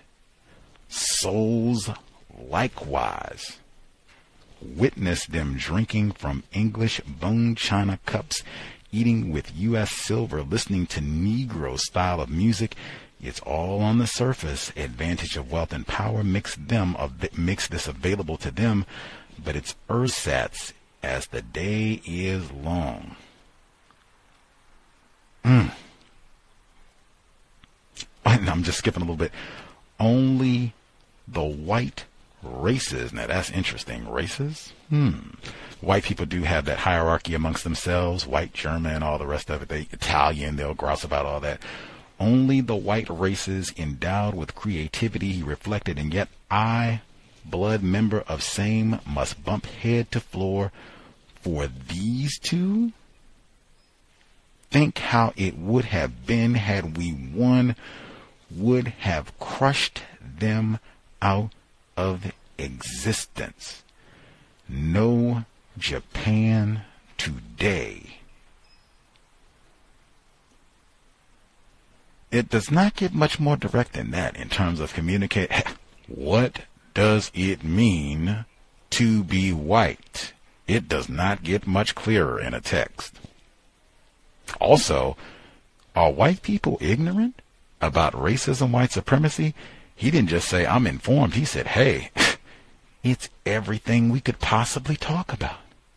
The napkins, the music we're listening to, what's on television, politics, everything. That's the same thing that I say. All areas of people activity all over the world. Let's see. Dixieland Jazz. We have been playing Dixie here for 13 years. Uh, let's see.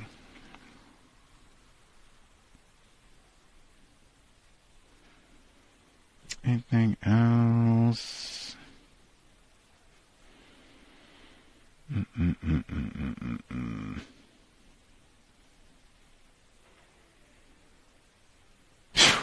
Gives one where he said, uh, so he had been feeling uneasy beforehand. Um, and he gets to the part they're talking about the grasshopper. If the grasshopper, grass, the grasshopper lies heavy, and he says if Japan, Germany had lost the war, the Jews would be running the world today through Moscow and the Wall Street. The two Japanese man and wife seemed to shrink. They seemed to fade, grow cold, descend into themselves. The room grew cold. Robert Childan felt alone, eating by himself, no longer in their company. What had he done now? What had they misunderstood? Stupid inability on their part to grasp alien tongue, the Western thought, eluded them. Now, that's even, that's interesting because it's not that they're alien, he's alien tongue. In his own land, right? That's what he said uh, eluded them, and so they took umbrage. What a tragedy. He thought as he continued eating, and yet, what could be done? Former clarity that of only a moment ago had to be drawn on for all it was worth. Full extent not glimpsed until now. Robert Childan did not feel quite as badly as before, because the nonsensical dream had begun to lift from his mind. I showed up here with such anticipation, he recalled, near adolescent romantic haze befuddling me as I ascended stairs. But reality cannot be ignored. We must grow up. Now that almost sounds like you have to accept things as they are. That's the job of the physician, right? Help clients, psychiatrists to help people embrace reality even when they are hesitant to do so. Being mature, accept things as they are. And this is the straight dope right here. These people are not exactly human, and he has that in italics. Philip K. Dick, drug addict, said this is the street dope right here. Like, uh oh, give it to us, give it to us pure. These people are not exactly human, and he's not even talking about niggers. They don't, they don the dress, but they're like monkeys dolled up in the circus. I would stop and play the Neely Fuller Jr. clip, but I mean, hey, he did say that. At our best, President Obama, First Lady Michelle Obama, whoever they pick for the Supreme Court justice, you put them with Clarence Thomas. These are niggers with a gavel. Or excuse me, well that is applicable, but for this one, it's these are monkeys in a suit, monkeys in a dress, monkeys in a car, monkeys on the Supreme Court of the United States. Doesn't matter how many degrees you have. Hey, what he say? That's what they see. Philip K. Dick. Bang. Cosign right there on Neely Fuller Jr. Cosign also on Dr. Curry, the man not, woman not. Like you would be generous to be children, apes and gorillas. Let's see. Let me get the whole sentence. He said, They don the dress, but they're like monkeys dolled up in the circus. They're clever and can learn, but that is all. That is in italics as well, and just the second half of the sentence, but that is all. And he starts to feel better. That straightens up his back. Yeah, that's right. I came thinking I'm going to impress and curry favor. These slant-eyed chink monkeys and whatever. I'm a white man. I know I'm a white man. I'm not going to sit around here and think that I'm going to get some understanding. Give me my fork. what does it mean to be white? Let's see. And he then then look out, look out. Once he gets his mojo back right, he says, Hey, he wondered if they too sensed the unbridgeable gap between themselves and him. Hope so, he thought. They deserve to. A shame. Just have to ferret out Book's message on their own. Can I say one thing really quick? Now, this is one you have to really be paying attention to the grammar. One of the study questions asked, have you noticed the difference between the language in the book when the white people, or just the language, the English language, is it different? These characters' English is a little off. I would have to pick out like it several times, and that's in Planet of the Apes too, where the demise of white people is somehow connected to language. Like in Planet of the Apes, it's not just that the monkeys can talk, white people cannot talk. At least that's the book. And, and that continues throughout the series, even if you watch the like super new versions uh, of Planet of the Apes, the ones that came out like 2011 and all that, since Obama was in office. Uh, it's the same thing. The apes, as they learn to talk and sign, as their communication goes up, white people goes down. Specifically, it's some sort of disease that white people get and that the monkeys are immune to. White people get the whatever the disease is, like Alzheimer's, and they lose the ability to function and they lose the ability to speak. But the sentence I just read, uh, hope so, he thought, they deserve to, a shame, just have to ferret out the book's message on their own. Nass assumed the subject, but I mean, these are not exactly complete sentences, and it's like that throughout uh, the book. Uh, where I'll have to point some more out, but it's it's enough of them where, hmm, this is not quite the King's English that you would typically get from characters, and I'm saying it's deliberate, where their English is a little defective. Uh, anything else? Meandered is one of my favorite words. Then he meanders down the street, and then right after that, he says he meanders down the street. It's therapeutic to meet these people. Even that phrase is, whoo, these people who have intimidated. Philip K. Dick is giving straight code in some of this, like, whoo. Uh, I've always wanted, wondered, I'm backing up a little bit just to make sure that I emphasize. I always wondered what it would be like to meet certain customers socially. Not so bad after all. And he thought this experience may help me in my business, the business of white supremacy. It is therapeutic to meet these people who have intimidated you and to discover what they are really like. Then the intimidation goes. Thinking along these lines, he arrived at his own neighborhood and finally at his own door. He paid the chink, yes indeed, non-white person, pedicab driver and ascended the familiar stairs. I mean, just fascinating all the way through to see where his self-respect as a white man, where it started being so low and then how it got high, dehumanizing these non-white people, at least in his head. These are monkeys. You're a white man. Get it together. Trying to think you're equal to them, trying to have them think well of you. they are beneath you, even though they won, like whatever, have my food, and they hopefully they recognize that we are not the same. They're a pair of chimps that I'm eating with. Let me get out of here. Chink, get the bags. What does it mean to be white? And again, the masters of anti-Asian violence. Uh, let's see. Meander, that's one of my favorite words. Uh, Childan goes back and they want to find the guy who came to the shop before, told him his guns were fake. Uh, Welsing moment. And he describes him as being rather dark skinned. Of course, anyone who is criminal is dark. Uh, and he goes on his rant about the Jews and they're so sneaky and they can slip by you and you can't even identify them. Like, man, they're tricky. Gotta be careful about these folks. Uh, let's see. Mm-mm-mm. I'll stop there. Uh, again, so we get it mentioned again uh, right at the end of chapter, is that chapter 7?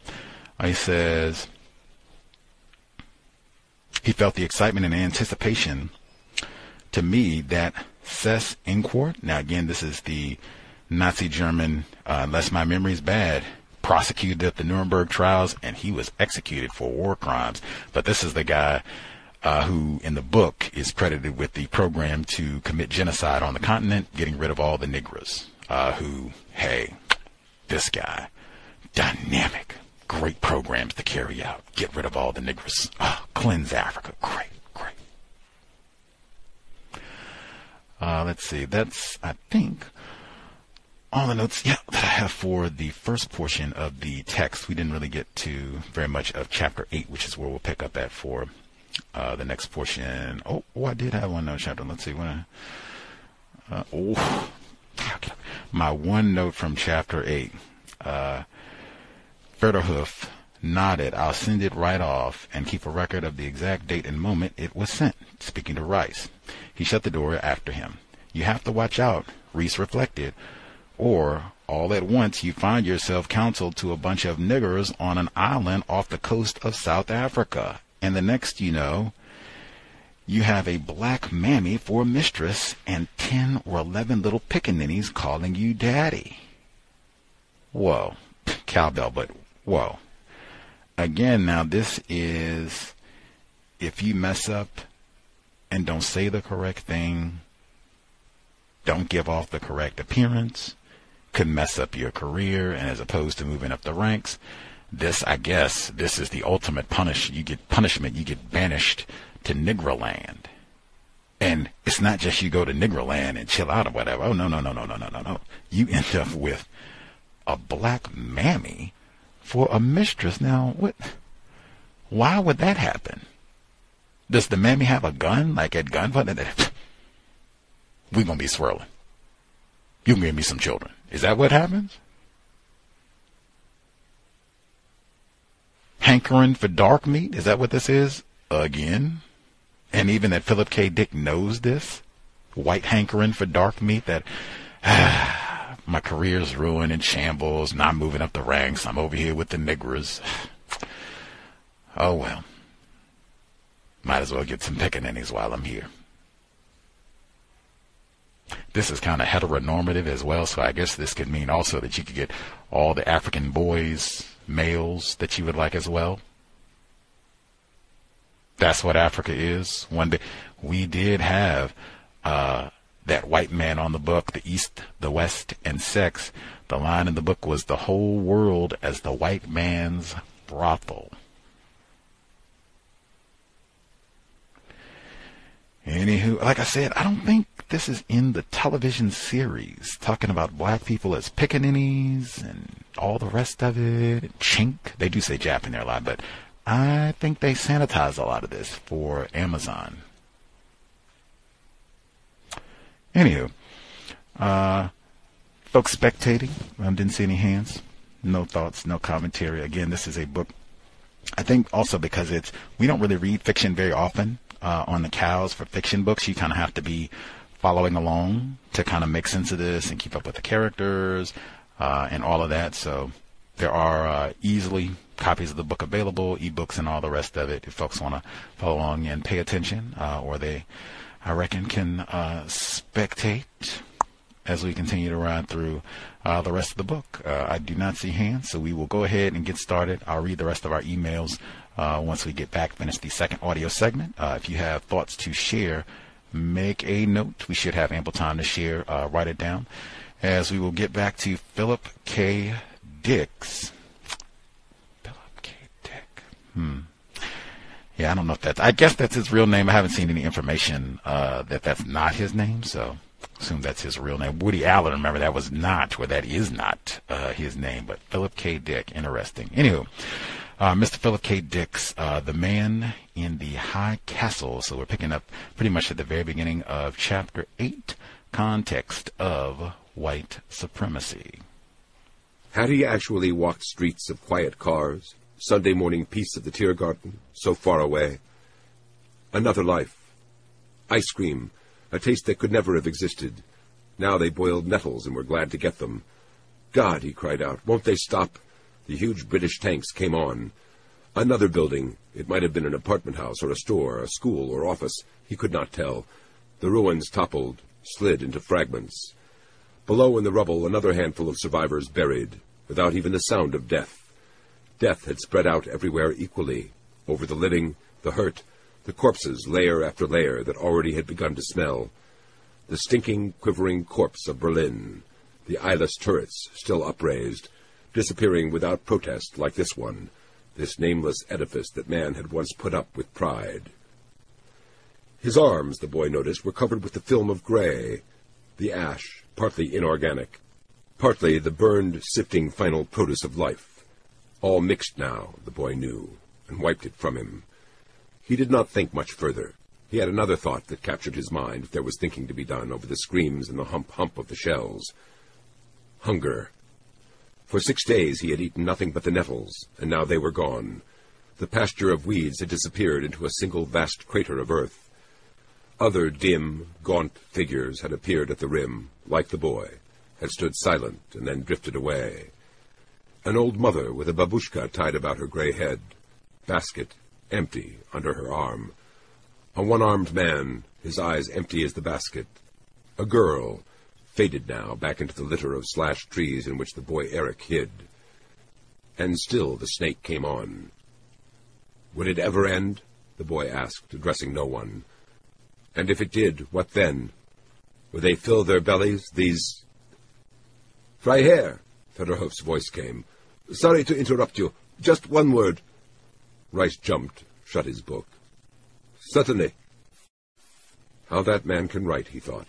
Completely carried me away. Real. Fall of Berlin to the British. As vivid as if it had actually taken place. Ugh, he shivered. Amazing, the power of fiction, even cheap popular fiction, to evoke. No wonder it's banned within Reich territory. I'd ban it myself. Sorry I started it. But too late. Must finish now. His secretary said, Some seamen from a German ship. They're required to report to you. Yes, Reiss said. He hopped to the door and out to the front office. There the three seamen, wearing heavy gray sweaters, all with thick blond hair, strong faces, a trifle nervous. Reiss raised his right hand. Heil Hitler! He gave them a brief friendly smile. Heil Hitler! They mumbled. They began showing him their papers. As soon as he had certified their visit to the consulate, he hurried back into his private office. Once more alone, he reopened The Grasshopper Lies Heavy. His eyes fell on a scene involving Hitler. Now he found himself unable to stop. He began to read the scene out of sequence, the back of his neck burning. The trial, he realized, of Hitler, after the close of the war. Hitler in the hands of the Allies, good God. Also Goebbels, Goring, all the rest of them. At Munich, Evidently Hitler was answering the American prosecutor. Black, flaming, the spirit of old seemed for an instant once again to blaze up. The quivering, shambling body jerked taut, the head lifted.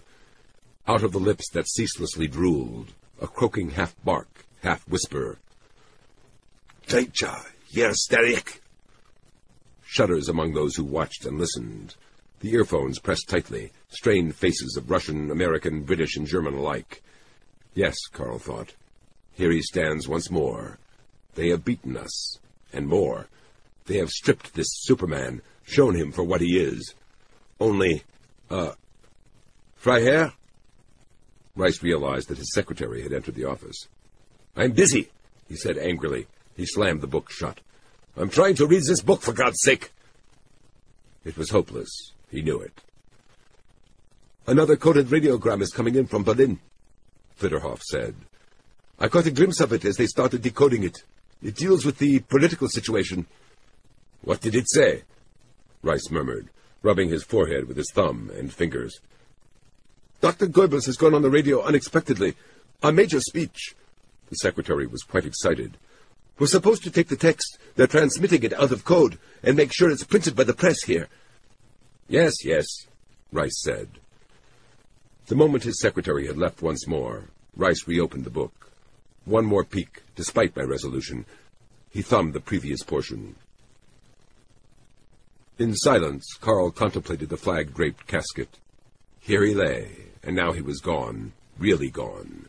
Not even the demon-inspired powers could bring him back. The man, or was it after all Ubermensch, whom Karl had blindly followed, worshipped, even to the brink of the grave. Adolf Hitler had passed beyond, but Karl clung to life. I will not follow him, Karl's mind whispered. I will go on, alive, and rebuild, and we will all rebuild. We must. How far, how terribly far the leader's magic had carried him. And what was it, now that the last dot had been put on that incredible record, that journey from the isolated rustic town in Austria, up from rotting poverty in Vienna, from the nightmare ordeal of the trenches, through political intrigue, the founding of the party, to the chancellorship, to what, for an instant, had seemed near world domination. Karl knew. Bluff. Adolf Hitler had lied to them. He had led them with empty words. It is not too late. We see your bluff, Adolf Hitler, and we know you for what you are at last. And the Nazi Party, the dreadful era of murder and megalomaniacal fantasy, for what it is, what it was. Turning, Karl walked away from the silent casket. Reiss shut the book and sat for a time. In spite of himself, he was upset. More pressure should have been put on the Japs, he said to himself, to suppress this damn book. In fact, it's obviously deliberate on their part. They could have arrested this, whatever his name is, Abendsen. They have plenty of power in the Middle West. What upset him was this. The death of Adolf Hitler, the defeat and destruction of Hitler, the Partei, and Germany itself as depicted in Abendsen's book. It was all somehow grander, more in the old spirit than the actual world, the world of German hegemony. How could that be? Reiss asked himself. Is it just this man's writing ability? They know a million tricks, those novelists. Take Dr. Goebbels. That's how he started out, writing fiction. Appeals to the base lusts that hide in everyone, no matter how respectable on the surface. Yes, the novelist knows humanity, how worthless they are, ruled by their testicles, swayed by cowardice, selling out every cause because of their greed. All he's got to do is thump on the drum, and there's his response. And he laughing, of course, behind his hand at the effect he gets. Look how he played on my sentiments, Herr Reiss reflected, not on my intellect. And naturally, he's going to get paid for it. The money's there. Obviously, somebody put the Hundsfott up to it, instructed him what to write. They'll write anything if they know they'll get paid. Tell any bunch of lies, and then the public actually takes the smelly brew seriously when it's dished out. Where was this published? Herr Reiss inspected the copy of the book. Omaha, Nebraska, last outpost of the former plutocratic U.S. publishing industry, once located in downtown New York and supported by Jewish and communist gold. Maybe this Abendsen is a Jew. They're still at it, trying to poison us. This Judish Buch. He slammed the covers of the grasshopper violently together. Actual name, probably Abenstein. No doubt the SD has looked into it by now. Beyond doubt, we ought to send somebody across into the RMS to pay Herr Abenstein a visit. I wonder if Kreuz vom Meere has gotten instructions to that effect. Probably hasn't, with all the confusion in Berlin. Everybody too busy with domestic matters. But this book, Reiss thought, is dangerous. If Abenstein should be found dangling from the ceiling some fine morning, it would be a sobering notice to anyone who might be influenced by this book. We would have had the last word, written the postscript. It would take a white man, of course. I wonder what Skorzeny is doing these days. Reiss pondered, reread the dust jacket of the book. The kite keeps himself barricaded up in this high castle. Nobody's fool. Whoever gets in and gets him won't get back out. Maybe it's foolish. The book, after all, is in print. Too late now. And that's Japanese-dominated territory. The little yellow men would raise a terrific fuss. Nevertheless, if it was done adroitly, if it could be properly handled, Freiherr Hugo Reiss made a notation on his pad. Broach subject with SS General Otto Skorzeny, or better yet, Otto Ohlendorf, at Amt 3 of the Reichssicherheitshauptamt. Didn't Ohlendorf head Einsatzgruppe D? And then, all at once, without warning of any kind, he felt sick with rage. I thought this was over, he said to himself. Does it have to go on forever? The war ended years ago, and we thought it was finished then. But that Africa fiasco, that crazy Seyss-Inquart carrying out Rosenberg's schemes. That Herr Hope is right, he thought, with his joke about our contact on Mars. Mars populated by Jews. We would see them there, too, even with their two heads apiece, standing one foot high. I have my routine duties, he decided. I don't have time for any of these harebrained adventures, this sending of Einsatzkommandos after Abendsen. My hands are full greeting German sailors and answering coded radiograms. Let someone higher up initiate a project of that sort. It's their business.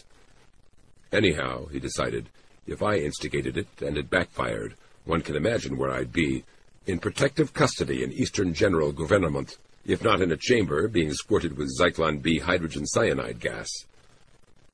Reaching out, he carefully scratched the notation on his pad out of existence, then burned the paper itself in the ceramic ashtray. There was a knock, and his office door opened. His secretary entered with a large handful of papers. Dr. Goebbels' speech, in its entirety. Pferdehuf put the sheets down on the desk. You must read it. Quite good. One of his best. Lighting another Simon Arzt number 70 cigarette, Reiss began to read Dr. Goebbels' speech. Chapter 9 After two weeks of nearly constant work, Ed Frank Custom Jewelry had produced its first finished batch. There the pieces lay, on two boards covered with black velvet, all of which went into a square wicker basket of Japanese origin. And Ed McCarthy and Frank Frink had made business cards. They had used an art gum eraser carved out to form their name. They printed in red from this, and then completed the cards with a children's toy rotary printing set. The effect, they had used a high-quality Christmas card-colored heavy paper, was striking. In every aspect of their work they had been professional. Surveying their jewelry, cards, and display, they could see no indication of the amateur. Why should there be? Frank Frink thought. We're both pros, not in jewelry making, but in shop work in general. The display boards held a good variety. Cuff bracelets made of brass, copper, bronze, and even hot-forged black iron. Pendants, mostly of brass, with a little silver ornamentation, earrings of silver, pins of silver or brass. The silver had cost them a good deal. Even silver solder had set them back. They had bought a few semi-precious stones, too, for mounting in the pins. Baroque pearls, spinels, jade, slivers of fire opal. And if things went well, they would try gold, and possibly five or six-point diamonds. It was gold that would make them a real profit. They had already begun searching into sources of scrap gold, melted down antique pieces of no artistic value, much cheaper to buy than new gold. But even so, an enormous expense was involved. And yet, one gold pin sold would bring more than forty brass pins. They could get almost any price on the retail market for a really well-designed and executed gold pin, assuming, as Frink had pointed out, that their stuff went over at all. At this point, they had not yet tried to sell. They had solved what seemed to be their basic technical problems. They had their bench with motors, flex cable machine, arbor of grinding and polishing wheels. They had, in fact, a complete range of finishing tools, ranging from the coarse wire brushes through brass brushes and Kratex wheels to finer polishing buffs of cotton, linen, leather, chamois, which could be coated with compounds ranging from emery and pumice to the most delicate rouges. And, of course, they had their oxyacetylene welding outfit, their tanks, gauges, hoses, tips, masks, and superb jeweler's tools. Pliers from Germany and France, micrometers, diamond drills, saws, tongs, tweezers, third-hand structures for soldering, vices, polishing cloths, shears, hand-forged tiny hammers, rows of precision equipment, and their supplies of brazing rod of various gauge, sheet metal, pinbacks, links, earring clipbacks. Well over half the $2,000 had been spent. They had in their Ed Frank bank account only $250 now. But they were set up legally. They even had their PSA permits. Nothing remained but to sell. No retailer, Frink thought as he studied the displays, can give these a tougher inspection than we have. They certainly looked good, these few select pieces, each painstakingly gone over for bad welds, rough or sharp edges, spots of fire color. Their quality control was excellent. The slightest dullness or wire brush scratch had been enough reason to return a piece to the shop. We can't afford to show any crude or unfinished work. One unnoticed black speck on a silver necklace, and we're finished. On their list, Robert Childan's store appeared first, but only Ed could go there. Childan would certainly remember Frank Frink. You got to do most of the actual selling, Ed said. but he was resigned to approaching Childen himself. He had bought a good suit, new tie, white shirt, to make the right impression. Nonetheless, he looked ill at ease. I know we're good, he said for the millionth time. But, hell. Most of the pieces were abstract, whirls of wire, loops, designs which to some extent the molten metals had taken on their own. Some had a spiderweb delicacy, an airiness. Others had a massive, powerful, almost barbaric heaviness. There was an amazing range of shape, considering how few pieces lay on the velvet trays. And yet one store, Frink realized, could buy everything we have laid out here. We'll see each store once, if we fail. But if we succeed, if we get them to carry our line, we'll be going back to refill orders the rest of our lives. Together, the two of them loaded the velvet board trays into the wicker basket. We could get something back on the metal, Frink said to himself, if worst comes to worst. And the tools and equipment. We can dispose of them at a loss, but at least we'll get something. This is the moment to consult the Oracle. Ask, how will Ed make out on his first selling trip? But he was too nervous to. It might give a bad omen, and he did not feel capable of facing it. In any case, the die was cast. The pieces were made, the shop set up, whatever the I Ching might blab out at this point. It can't sell our jewelry for us. It can't give us luck. I'll tackle Childan's place first, Ed said. We might as well get it over with, and then you can try a couple. You're coming along, aren't you? In the truck. I'll park around the corner. As they got into their pickup truck with their wicker hamper, Frink thought, God knows how good a salesman Ed is, or I am. Childan can be sold, but it's going to take a presentation, like they say. If Juliana were here, he thought, she could stroll in there and do it without batting an eye. She's pretty, she can talk to anybody on earth, and she's a woman. After all, this is women's jewelry. She could wear it into the store. Shutting his eyes, he tried to imagine how she would look with one of their bracelets on, or one of their large silver necklaces, with her black hair and her pale skin, doleful, probing eyes, wearing a gray jersey sweater, a little bit too tight, the silver resting against her bare flesh, metal rising and falling as she breathed. God, she was vivid in his mind right now. Every piece they made, the strong, thin fingers picked up, examined, tossing her head back, holding the piece high. Juliana sorting, always a witness to what he had done. Best for her, he decided, would be earrings. The bright dangly ones, especially the brass, with her hair held back by a clip or cut short so that her neck and ears could be seen and we could take photos of her for advertising and display. He and Ed had discussed a catalog, so they could sell by mail to stores in other parts of the world. She would look terrific. Her skin is nice, very healthy, no sagging or wrinkles, and a fine color. Would she do it if I could locate her? No matter what she thinks of me, nothing to do with our personal life. This would be a strictly business matter. Hell, I wouldn't even take the pictures. We'd get a professional photographer to do it. That would please her, her vanity probably as great as always. She always liked people to look at her, admire her. Anybody. I guess most women are like that. They crave attention all the time. They're very babyish that way. He thought, Juliana could never stand being alone. She had to have me around all the time, complimenting her. Little kids are that way. They feel if their parents aren't watching what they do, then what they do isn't real. No doubt she's got some guy noticing her right now, telling her how pretty she is her legs, her smooth, flat stomach. What's the matter? Ed said, glancing at him. Losing your nerve? No, Frink said.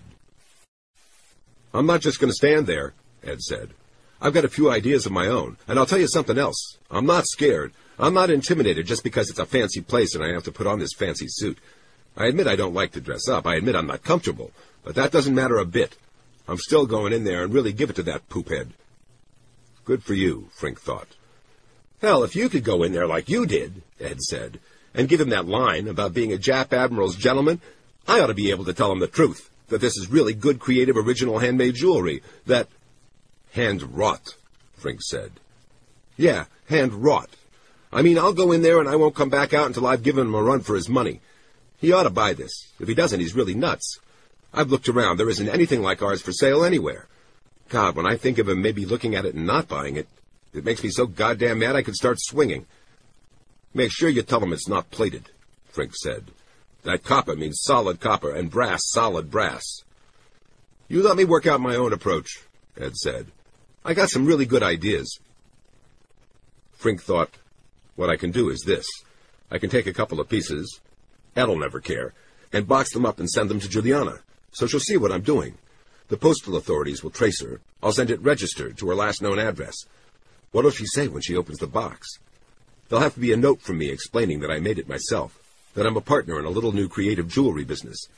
I'll fire her imagination, give her an account that'll make her want to know more, that'll get her interested.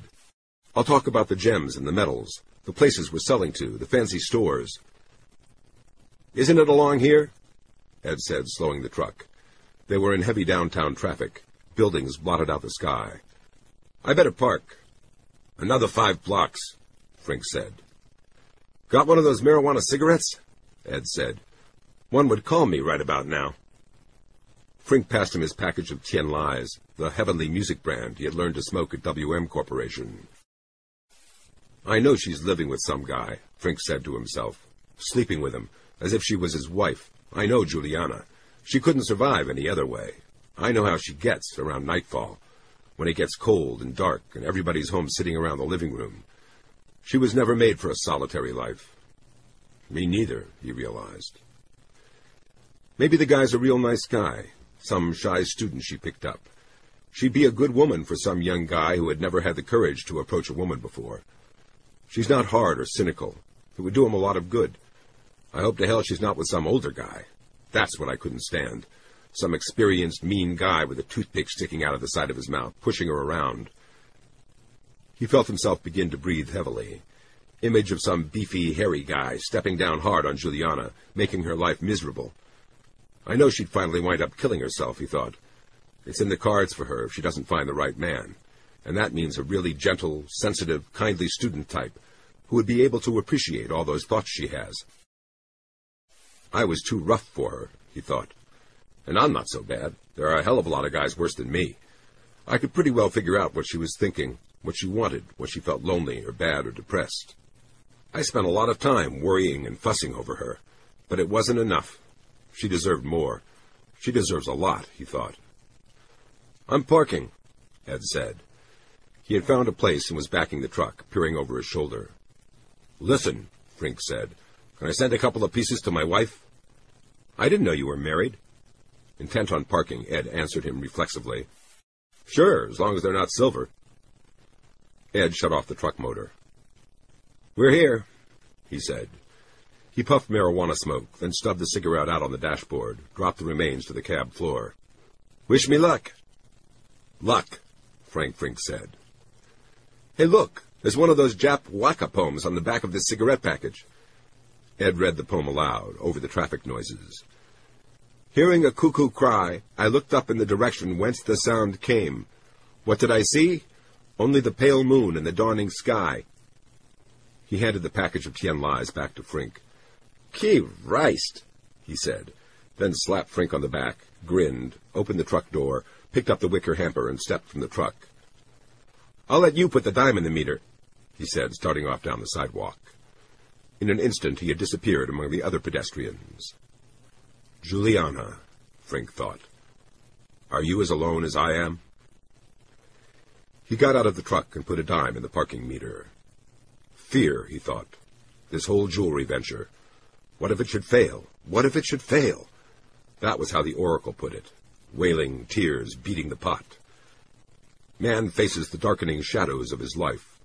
His passage to the grave. If she were here, it would not be so bad. Not bad at all. I'm scared, he realized. Suppose Ed doesn't sell a thing. Suppose they laugh at us. What then? On a sheet on the floor of the front room of her apartment, Juliana lay holding Joe Cinnadella against her.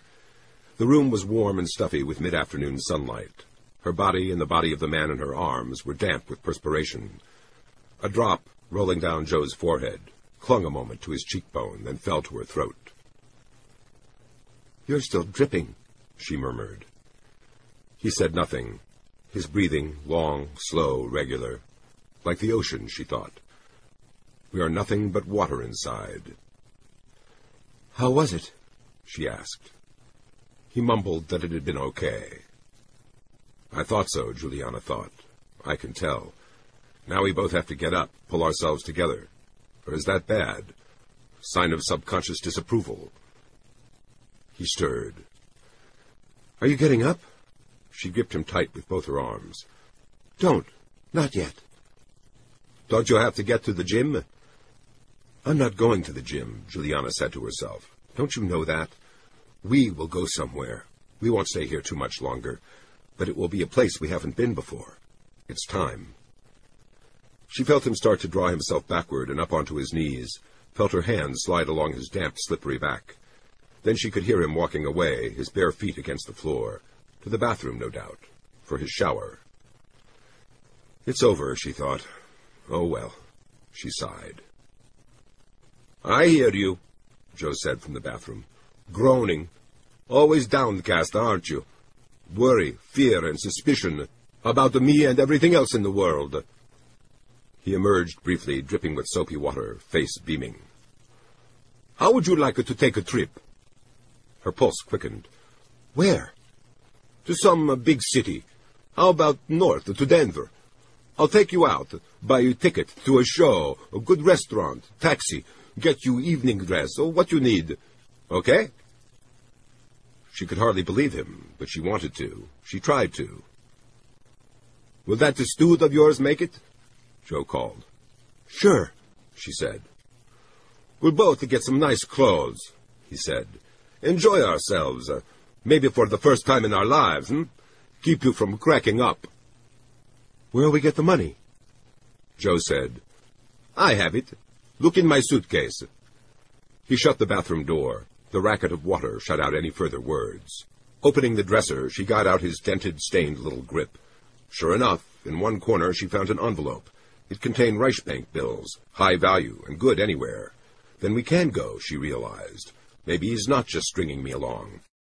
I just wish I could get inside him and see what's there, she thought as she counted the money. Beneath the envelope she found a huge cylindrical fountain pen, or at least it appeared to be that.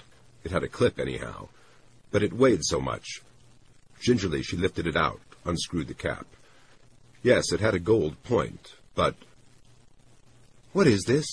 she asked Joe when he reappeared from the shower. He took it from her, returned it to the grip. How carefully he handled it. She noticed that, reflected on it, perplexed. More morbidity? Joe said. He seemed light-hearted, more so than at any time since she had met him. With a yell of enthusiasm, he clasped her around the waist, then hoisted her up into his arms, rocking her, swinging her back and forth, peering down into her face, breathing his warm breath over her, squeezing her until she bleated. No, she said. I'm just slow to change. Still a little scared of you, she thought. So scared I can't even say it, tell you about it. Out the window, Joe cried, stalking across the room with her in his arms. Here we go. Please, she said. Kidding. Listen, we're going on a march, like the March on Rome. You remember that? The Duce led them, my Uncle Carlo, for example. Now we have a little march. Less important, not noted in the history books. Right? Inclining his head, he kissed her on the mouth so hard that their teeth clashed. How nice we both look in our new clothes. And you can explain to me exactly how to talk, uh, deport myself, right? Teach me manners, right? You talk okay, Juliana said. Better than me, even. No. He became abruptly somber. I talk very bad. A real wop accent. Didn't you notice it when you first met me in the cafe? I guess so, she said. It did not seem important to her. Only a woman knows the social conventions, Joe said, carrying her back and dropping her to bounce frighteningly on the bed. Without the woman, uh, we discuss racing cars and horses and uh, tell dirty jokes. No civilization. You're in a strange mood, Juliana thought. Restless and brooding until you decide to move on. Then you become hopped up. Do you really want me? You can ditch me, leave me here. It's happened before. I would ditch you, she thought, if I were going on. Is that your pay? she asked as he dressed. You saved it up? It was so much. Of course, there was a good deal of money in the East. All the other truck drivers I've talked to never made so... You say I'm a truck driver? Joe broke in. Listen, I rode that rig not to drive, but to keep off hijackers. Looked like a truck driver, snoozing in the cab. Flopping in a chair in the corner of the room, he lay back, pretending sleep, his mouth open, body limp. See? At first she did not see, and then she realized that in his hand was a knife, as thin as a kitchen potato skewer. Good grief, she thought. Where had it come from? Out of his sleeve, out of the air itself. That's why the Volkswagen people hired me. Service record. We protected ourselves against Hazelden, those commandos. He led them. His black eyes glinted. He grinned sideways at Juliana. Guess who got the colonel, there at the end? When we caught them on the Nile, him and four of his long-range desert group, months after the Cairo campaign. They raided us for gasoline one night. I was on sentry duty. Hazelden sneaked up, rubbed with black all over his face and body, even his hands. They had no wire that time, only grenades and submachine guns. All too noisy. He tried to break my larynx. I got him. From the chair, Joe sprang up at her, laughing. Let's pack. You tell them at the gym you're taking a few days off. Phone them. His account simply did not convince her. Perhaps he had not been in North Africa at all, and not even fought in the war on the Axis side. Had not even fought. What hijackers, she wondered. No truck that she knew of had come through Cannon City from the East Coast with an armed professional ex-soldier as guard. Maybe he had not lived in the USA, had made everything up from the start. A line to snare her, to get her interested, to appear romantic. Maybe he's insane, she thought. Ironic. I may actually do what I've pretended many times to have done, use my judo in self-defense. To save my virginity? My life, she thought. But more likely, he is just some poor, low-class wop laboring slob with delusions of glory. He wants to go on a grand spree, spend all his money, live it up, and then go back to his monotonous existence. And he needs a girl to do it. Okay, she said. I'll call the gym. As she went toward the hall, she thought, He'll buy me expensive clothes and then take me to some luxurious hotel. Every man yearns to have a really well-dressed woman before he dies even if he has to buy her the clothes himself. This binge is probably Joe Cinnadella's lifelong ambition. And he is shrewd. I'll bet he's right in his analysis of me. I have an erotic fear of the masculine. Frank knew it, too. That's why he and I broke up. That's why I still feel this anxiety now, this mistrust. When she returned from the payphone, she found Joe once more engrossed in the grasshopper, scowling as he read, unaware of everything else. Weren't you going to let me read that? she asked. Maybe while I drive, Joe said without looking up. You're going to drive, but it's my car. He said nothing. He merely went on reading. That grasshopper book, right, right, kept saying that. We got every character in the book is reading this same grasshopper lies heavy. Wow, wow.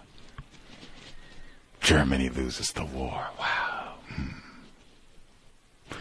context of white supremacy. So we are substantially more than halfway done with this book. Thank goodness. Woo. We will pick up uh, next week. We are in chap. We're like halfway through chapter nine, and there are 15 chapters in this book. So we are stomping uh, towards the end quickly. I think there should be a max of three sessions left, and we will be all done. Thank goodness. Whew. Incidentally, I could be totally in error. I guess you all could let me know what is true.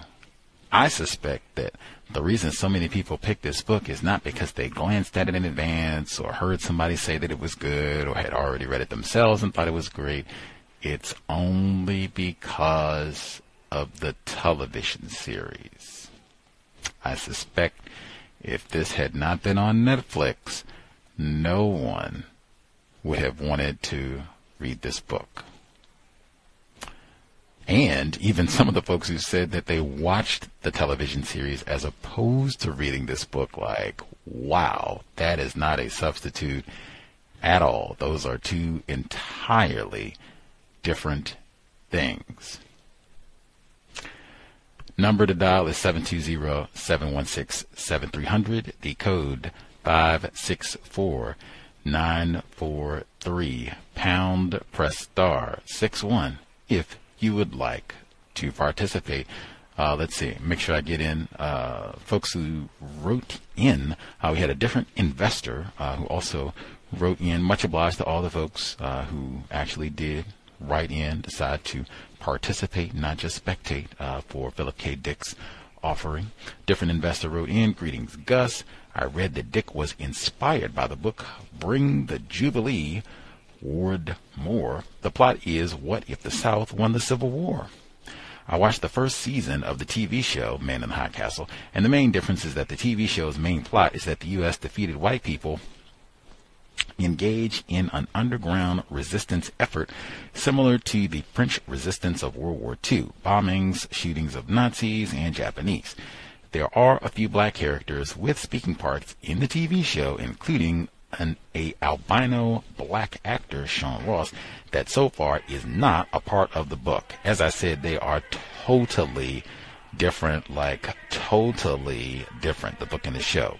The albino character seemed like he was just placed there for shock value as opposed to being imp- an important part of the storyline. I looked up three Nazis I had not heard of in Wikipedia. They are real people. As I said, all the Nazi folks, especially the folks that are mentioned in chapter six, like they are all real folks. You can check them out online. Uh, W. Schellenberg, considered a SS functionary. SS is the Schultz Staffel, Hitler's personal group of bodyguards who were greatly feared. He was tried and convicted at Nuremberg to a six-year sentence, which he, which was shortened due to illness. He died a few years later. He is portrayed in a lot of fictional books about World War II. Uh, Baldur von Schirach, head of the Hitler Youth, deported 65,000 Jews to death camps, convicted at Nuremberg to 20 years, served his entire sentence, and died at age 67, 1974, eight years after being released. Dr. Arthur Seyss Inquart, Austrian Nazi, deported Dutch Jews, convicted at Nuremberg, and, as I stated, sentenced to death by hanging. Uh, he writes from chapter 6 Think along reassuring lines. Recall order of world. What to draw on? Religion? He thought. Now a Gavotte performed sedately.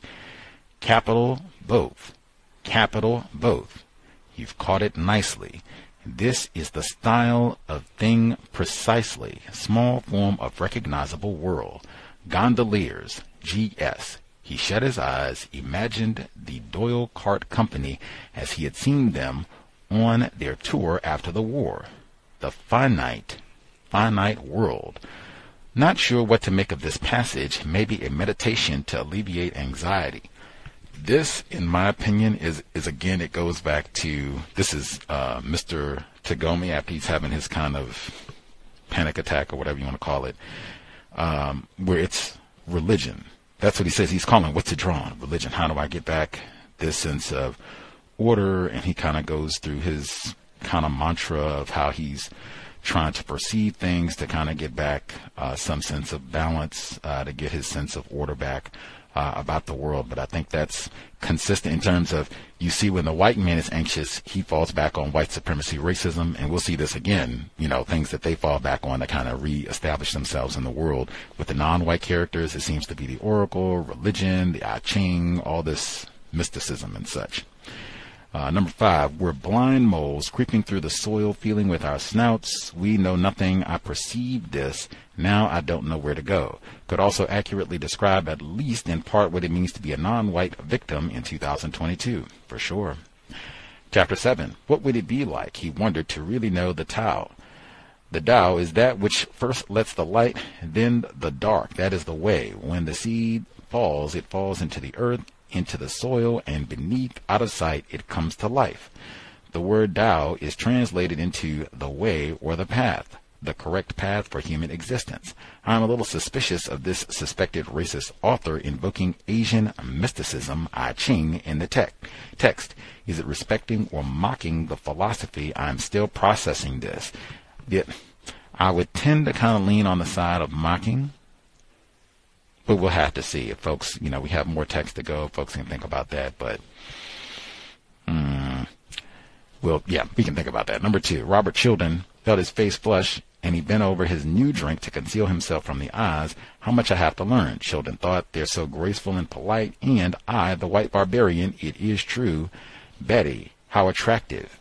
Robert Childan thought again. The slender body, we were half-baked compared to them, allowed out of the kiln before we were fully done. The author captures the feelings of insecurity and inferiority of the oppressed and subjugated. Moreover, the sexual desire that the oppressed feel for their abusers. The reference to his skin color reminded me of some of Dr. Welsing's comments, for sure.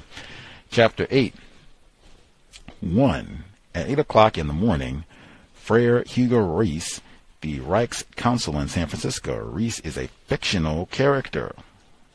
Number two, you have to watch out, Reiss reflected, or all at once you find yourself counseled to a bunch of niggers on an island off the coast of South Africa, and the next you know, you have a black mammy for a mistress and ten or eleven little pickaninnies calling you daddy. Characterizes the hypocrisy of both contempt and sexual desire by racist man and racist woman for their non-white victims. This contempt is documented every week on the compensatory call-in program, for sure. Uh, chapter 9. Ed Frank, Jewelry Custom Jewelry. This whole plot line about the jewelry reminds me of the difficulty that black people have in becoming entrepreneurs in a system of white supremacy. Moreover, interestingly, they are making authentic jewelry and not fakes, which does not seem to afford them an advantage. We'll have to see how their business venture proceeds. Number two, maybe he's insane, she thought. Ironic, I may actually do what I pretended many times to have done, use my judo in self-defense. Foreshadowing? To save my virginity, oh my God, Alice Sebold again? Uh, my life, she thought, but more likely he is just some poor low-class wop laboring slob with delusions of glory. He wants to go on a grand spree, very similar to the name-calling of non-white victims the reference to virginity based on the last reading stood out for sure. Not what, not sure what to make of it. Uh, again, now in the very beginning of the book, he had the image of the older white women who were like strippers or you know whatever at this kind of sex parlor joint.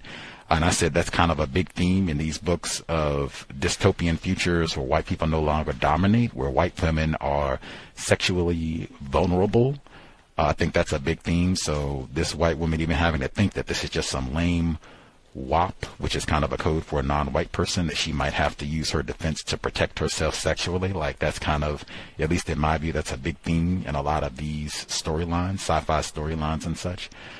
Um, yeah, I could be wrong. Other folks. Uh, let's see. Number three, uh, and then the idea occurred to him. Bellows, obviously not experienced. Look at that. Maybe I can get some stuff on. Can, oh, didn't get that far. Didn't get that far. Get there next week. Uh, so that's chapter nine. Hold that thought. Uh, let's see. Uh, the number again, 720-716-7300. The code 564943 pound. Press star 61 if you would like to participate. Uh, let's see if we have any folks who have any observations on uh, the portion of the reading that we've had for today. Let's see. Spectating, spectating, as I thought.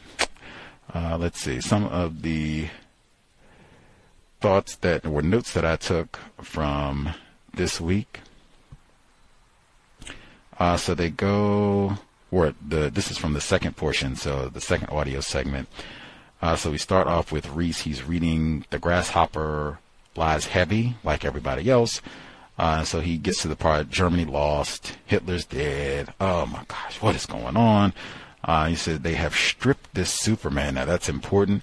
Stripped, so you're nude. We've had all. We just I just read that line, uh, and uh, different investor he wrote in talking about the line uh, where Childan is talking about Betty non-white, so-called Japanese female. It's beautiful, dark. Oh, we're half baked in comparison to them, and they're superior, right? Said all that, and then we come back with this, and they have stripped the Superman, shown him for what he is, only a not superior, make half baked, like oh, and he can't put it down. Like it's it's not just oh this is some rubbish you know we'll we'll kill this guy and whatever. It's oh my god he's just riveted. Like I can't stop reading. I can't stop reading. Jane Elliott said reading Dr. Welsing's book turned her brain to popcorn. Uh, let's see. next. Reshut the book set for a time in spite of himself. He was upset. More pressure should have been put on the Japs, he said to himself, to suppress this damn book. In fact, it's obviously deliberate on their part. They could have arrested this, whatever his name is, Abendsen. They have plenty of power in the Middle West.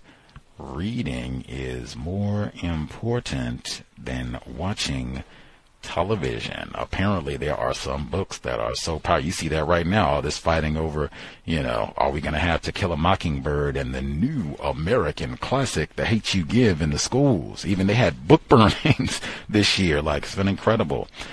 Uh, just down from that, they know a million tricks, those novelists. Take Dr. Goebbels. That's how he started out writing fiction, appeals to the base lusts that hides in everyone, no matter how respectable on the surface. Yes, the novelist knows humanity, how worthless they are, ruled by their testicles.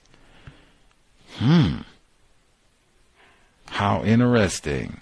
Gets to the genital level. I'd say racist man, racist woman, they are ruled by white supremacy, racism dominating non-white people, but sex, second strongest motivating force, according to Neely Fuller Jr. And this whole thing reminded me of Dr. Frances Cress Welsing. Again, everything gets to the genital level, level white genetic annihilation, and that there's so much of that all throughout this uh, text.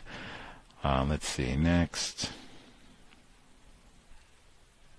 And then they come back with all of that very next segment, maybe it's foolish. The book, after all, is in print too late now, and that's Japanese dominated territory. The little yellow men would raise a terrific fuss. Talking about the genitals, I don't think they mean height because you got, uh, I was going to say Yao Ming, but that's the wrong country. But you got tall. Everybody in Japan is not uh, short. Little yellow man, genital level. Again, uh, next they keep bringing my, the fellow up who was hanged, uh, Seyss Inquart, uh, the African fiasco where they were not able to finish the genocide and slaughter all the Negroes. That crazy Seyss Inquart carrying out Rosenberg's schemes. I guess not perfectly. Uh, let's see, next, chapter 9. So this with the whole jewelry scheme with Frank Fink and Ed McCarthy. Uh, I think one even that, what what's a what is a slang term for testicles? Isn't that the family jewels? Another metaphor, right? Getting to the genital level, especially because Frank Fink he wants to give the jewelry to Juliana and talking about all of their sexual activity and all the rest of it, right to the genital level. So that's one. Uh, but then all of this plays into that regular uh, white supremacist trope, right? That's what the Turner Diaries and all that part of the so-called Jewish conspiracy is. You know, they've cornered the diamond market and the jewelry market, and that's you know part of their conspiracy and them doing all of that, right? Individuals classified as white are dominating all areas of people activity. But I also thought even with the really, so that's why I said if you contrast like Mr. Tagomi, where he's all into the I Ching and religion and what do I do and consult the oracle and all of that with their jewelry, it's very precise. And they even talk about the meticulous German equipment that they get to construct their jewelry. It's not uh, metaphysics it's very precise industrial work that they're doing to uh, produce this original artwork, right? That's the comparison that I'm making. Same thing like when they were talking about the television and space programs, right? Same thing. White people are all about that logic and mathematic, Germanic efficiency, right? Uh, in contrast to the non-white people in the book. Uh, let's see. Next, and then we get another reference. They say, uh, if Juliana were here, he thought she could stroll in there and do it without batting an eye. She's pretty, she can talk to anybody on earth, and she's a woman. After all, this is women's jewelry. She could wear it into the store. Shutting his eyes, he tried to imagine how she would look with one of their bracelets on or one of their large silver necklaces with her black hair and pale skin doleful, probing eyes, wearing a gray jersey sweater a little bit too tight, the silver resting against her bare flesh, metal rising and falling as she breathed. Uh, again, the focusing on the melanin deficiency of white people. That's two books in a row talking about the paleness of white people. Uh, let's see.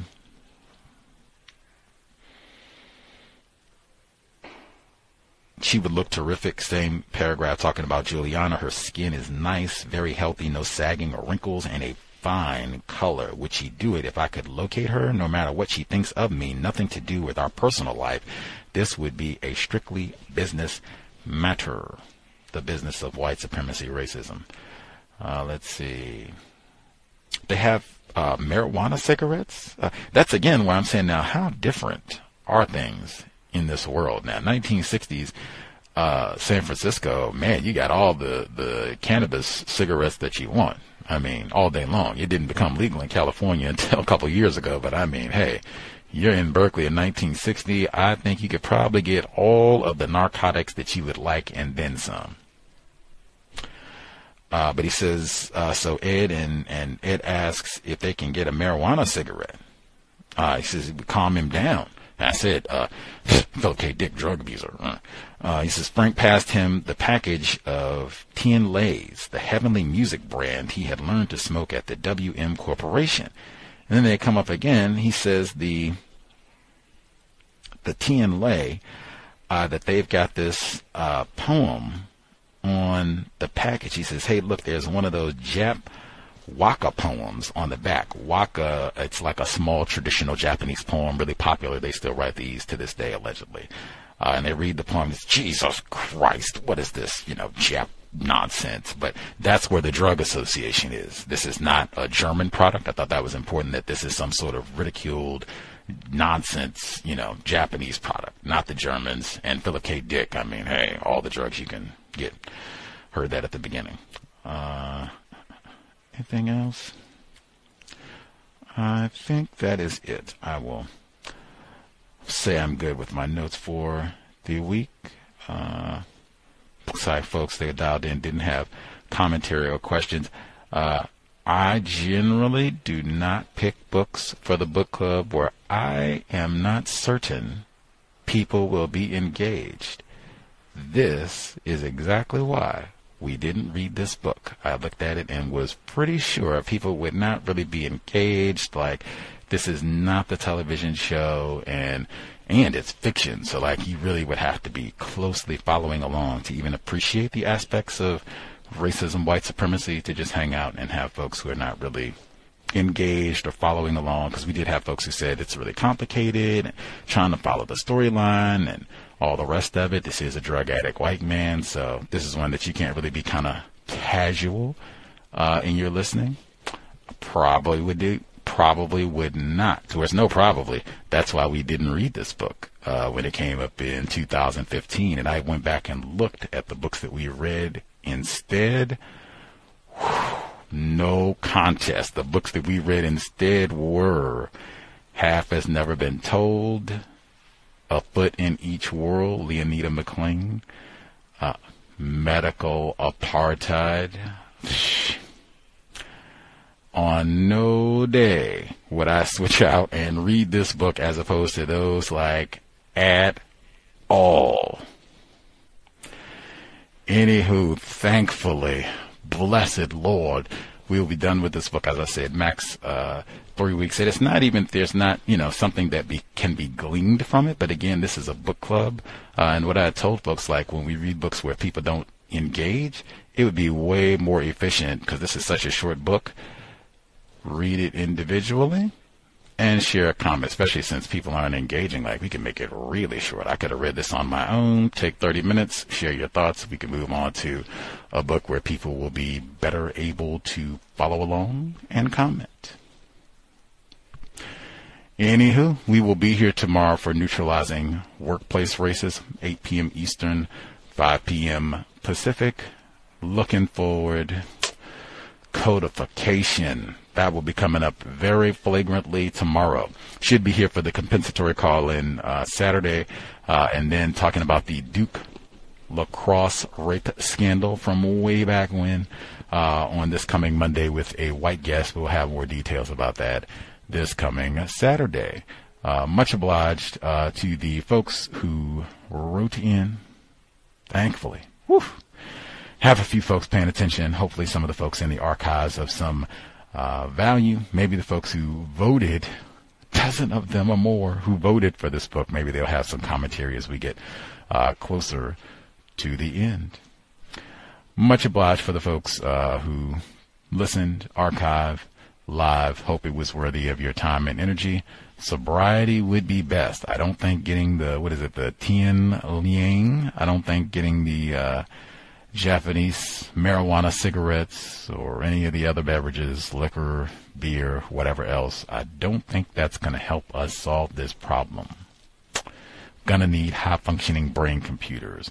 Uh, in addition to being sober, if you're out and about, someone is being hostile and rowdy, exit. Uh, you want to be thinking this person could be armed. This could be a lethal event in a matter of seconds. Again, we'll discuss this tomorrow. If you're in a vehicle, sober, buckled, not on the cell phone, we kind of need all of our attention to be mindful about what's happening around us, trying our best to be safe and to minimize contact with race soldiers, badge or no. All of that said, Creator, we ask that you help us remain patient with other black people, victims of white supremacy. We ask that you help us remain patient with ourselves. Remind us to demonstrate the highest levels of black self respect at all times, in all places, each and every time we are in contact with another black person. It has been time. Replace white supremacy with justice immediately. Cal signing out. Thanks all for tuning in.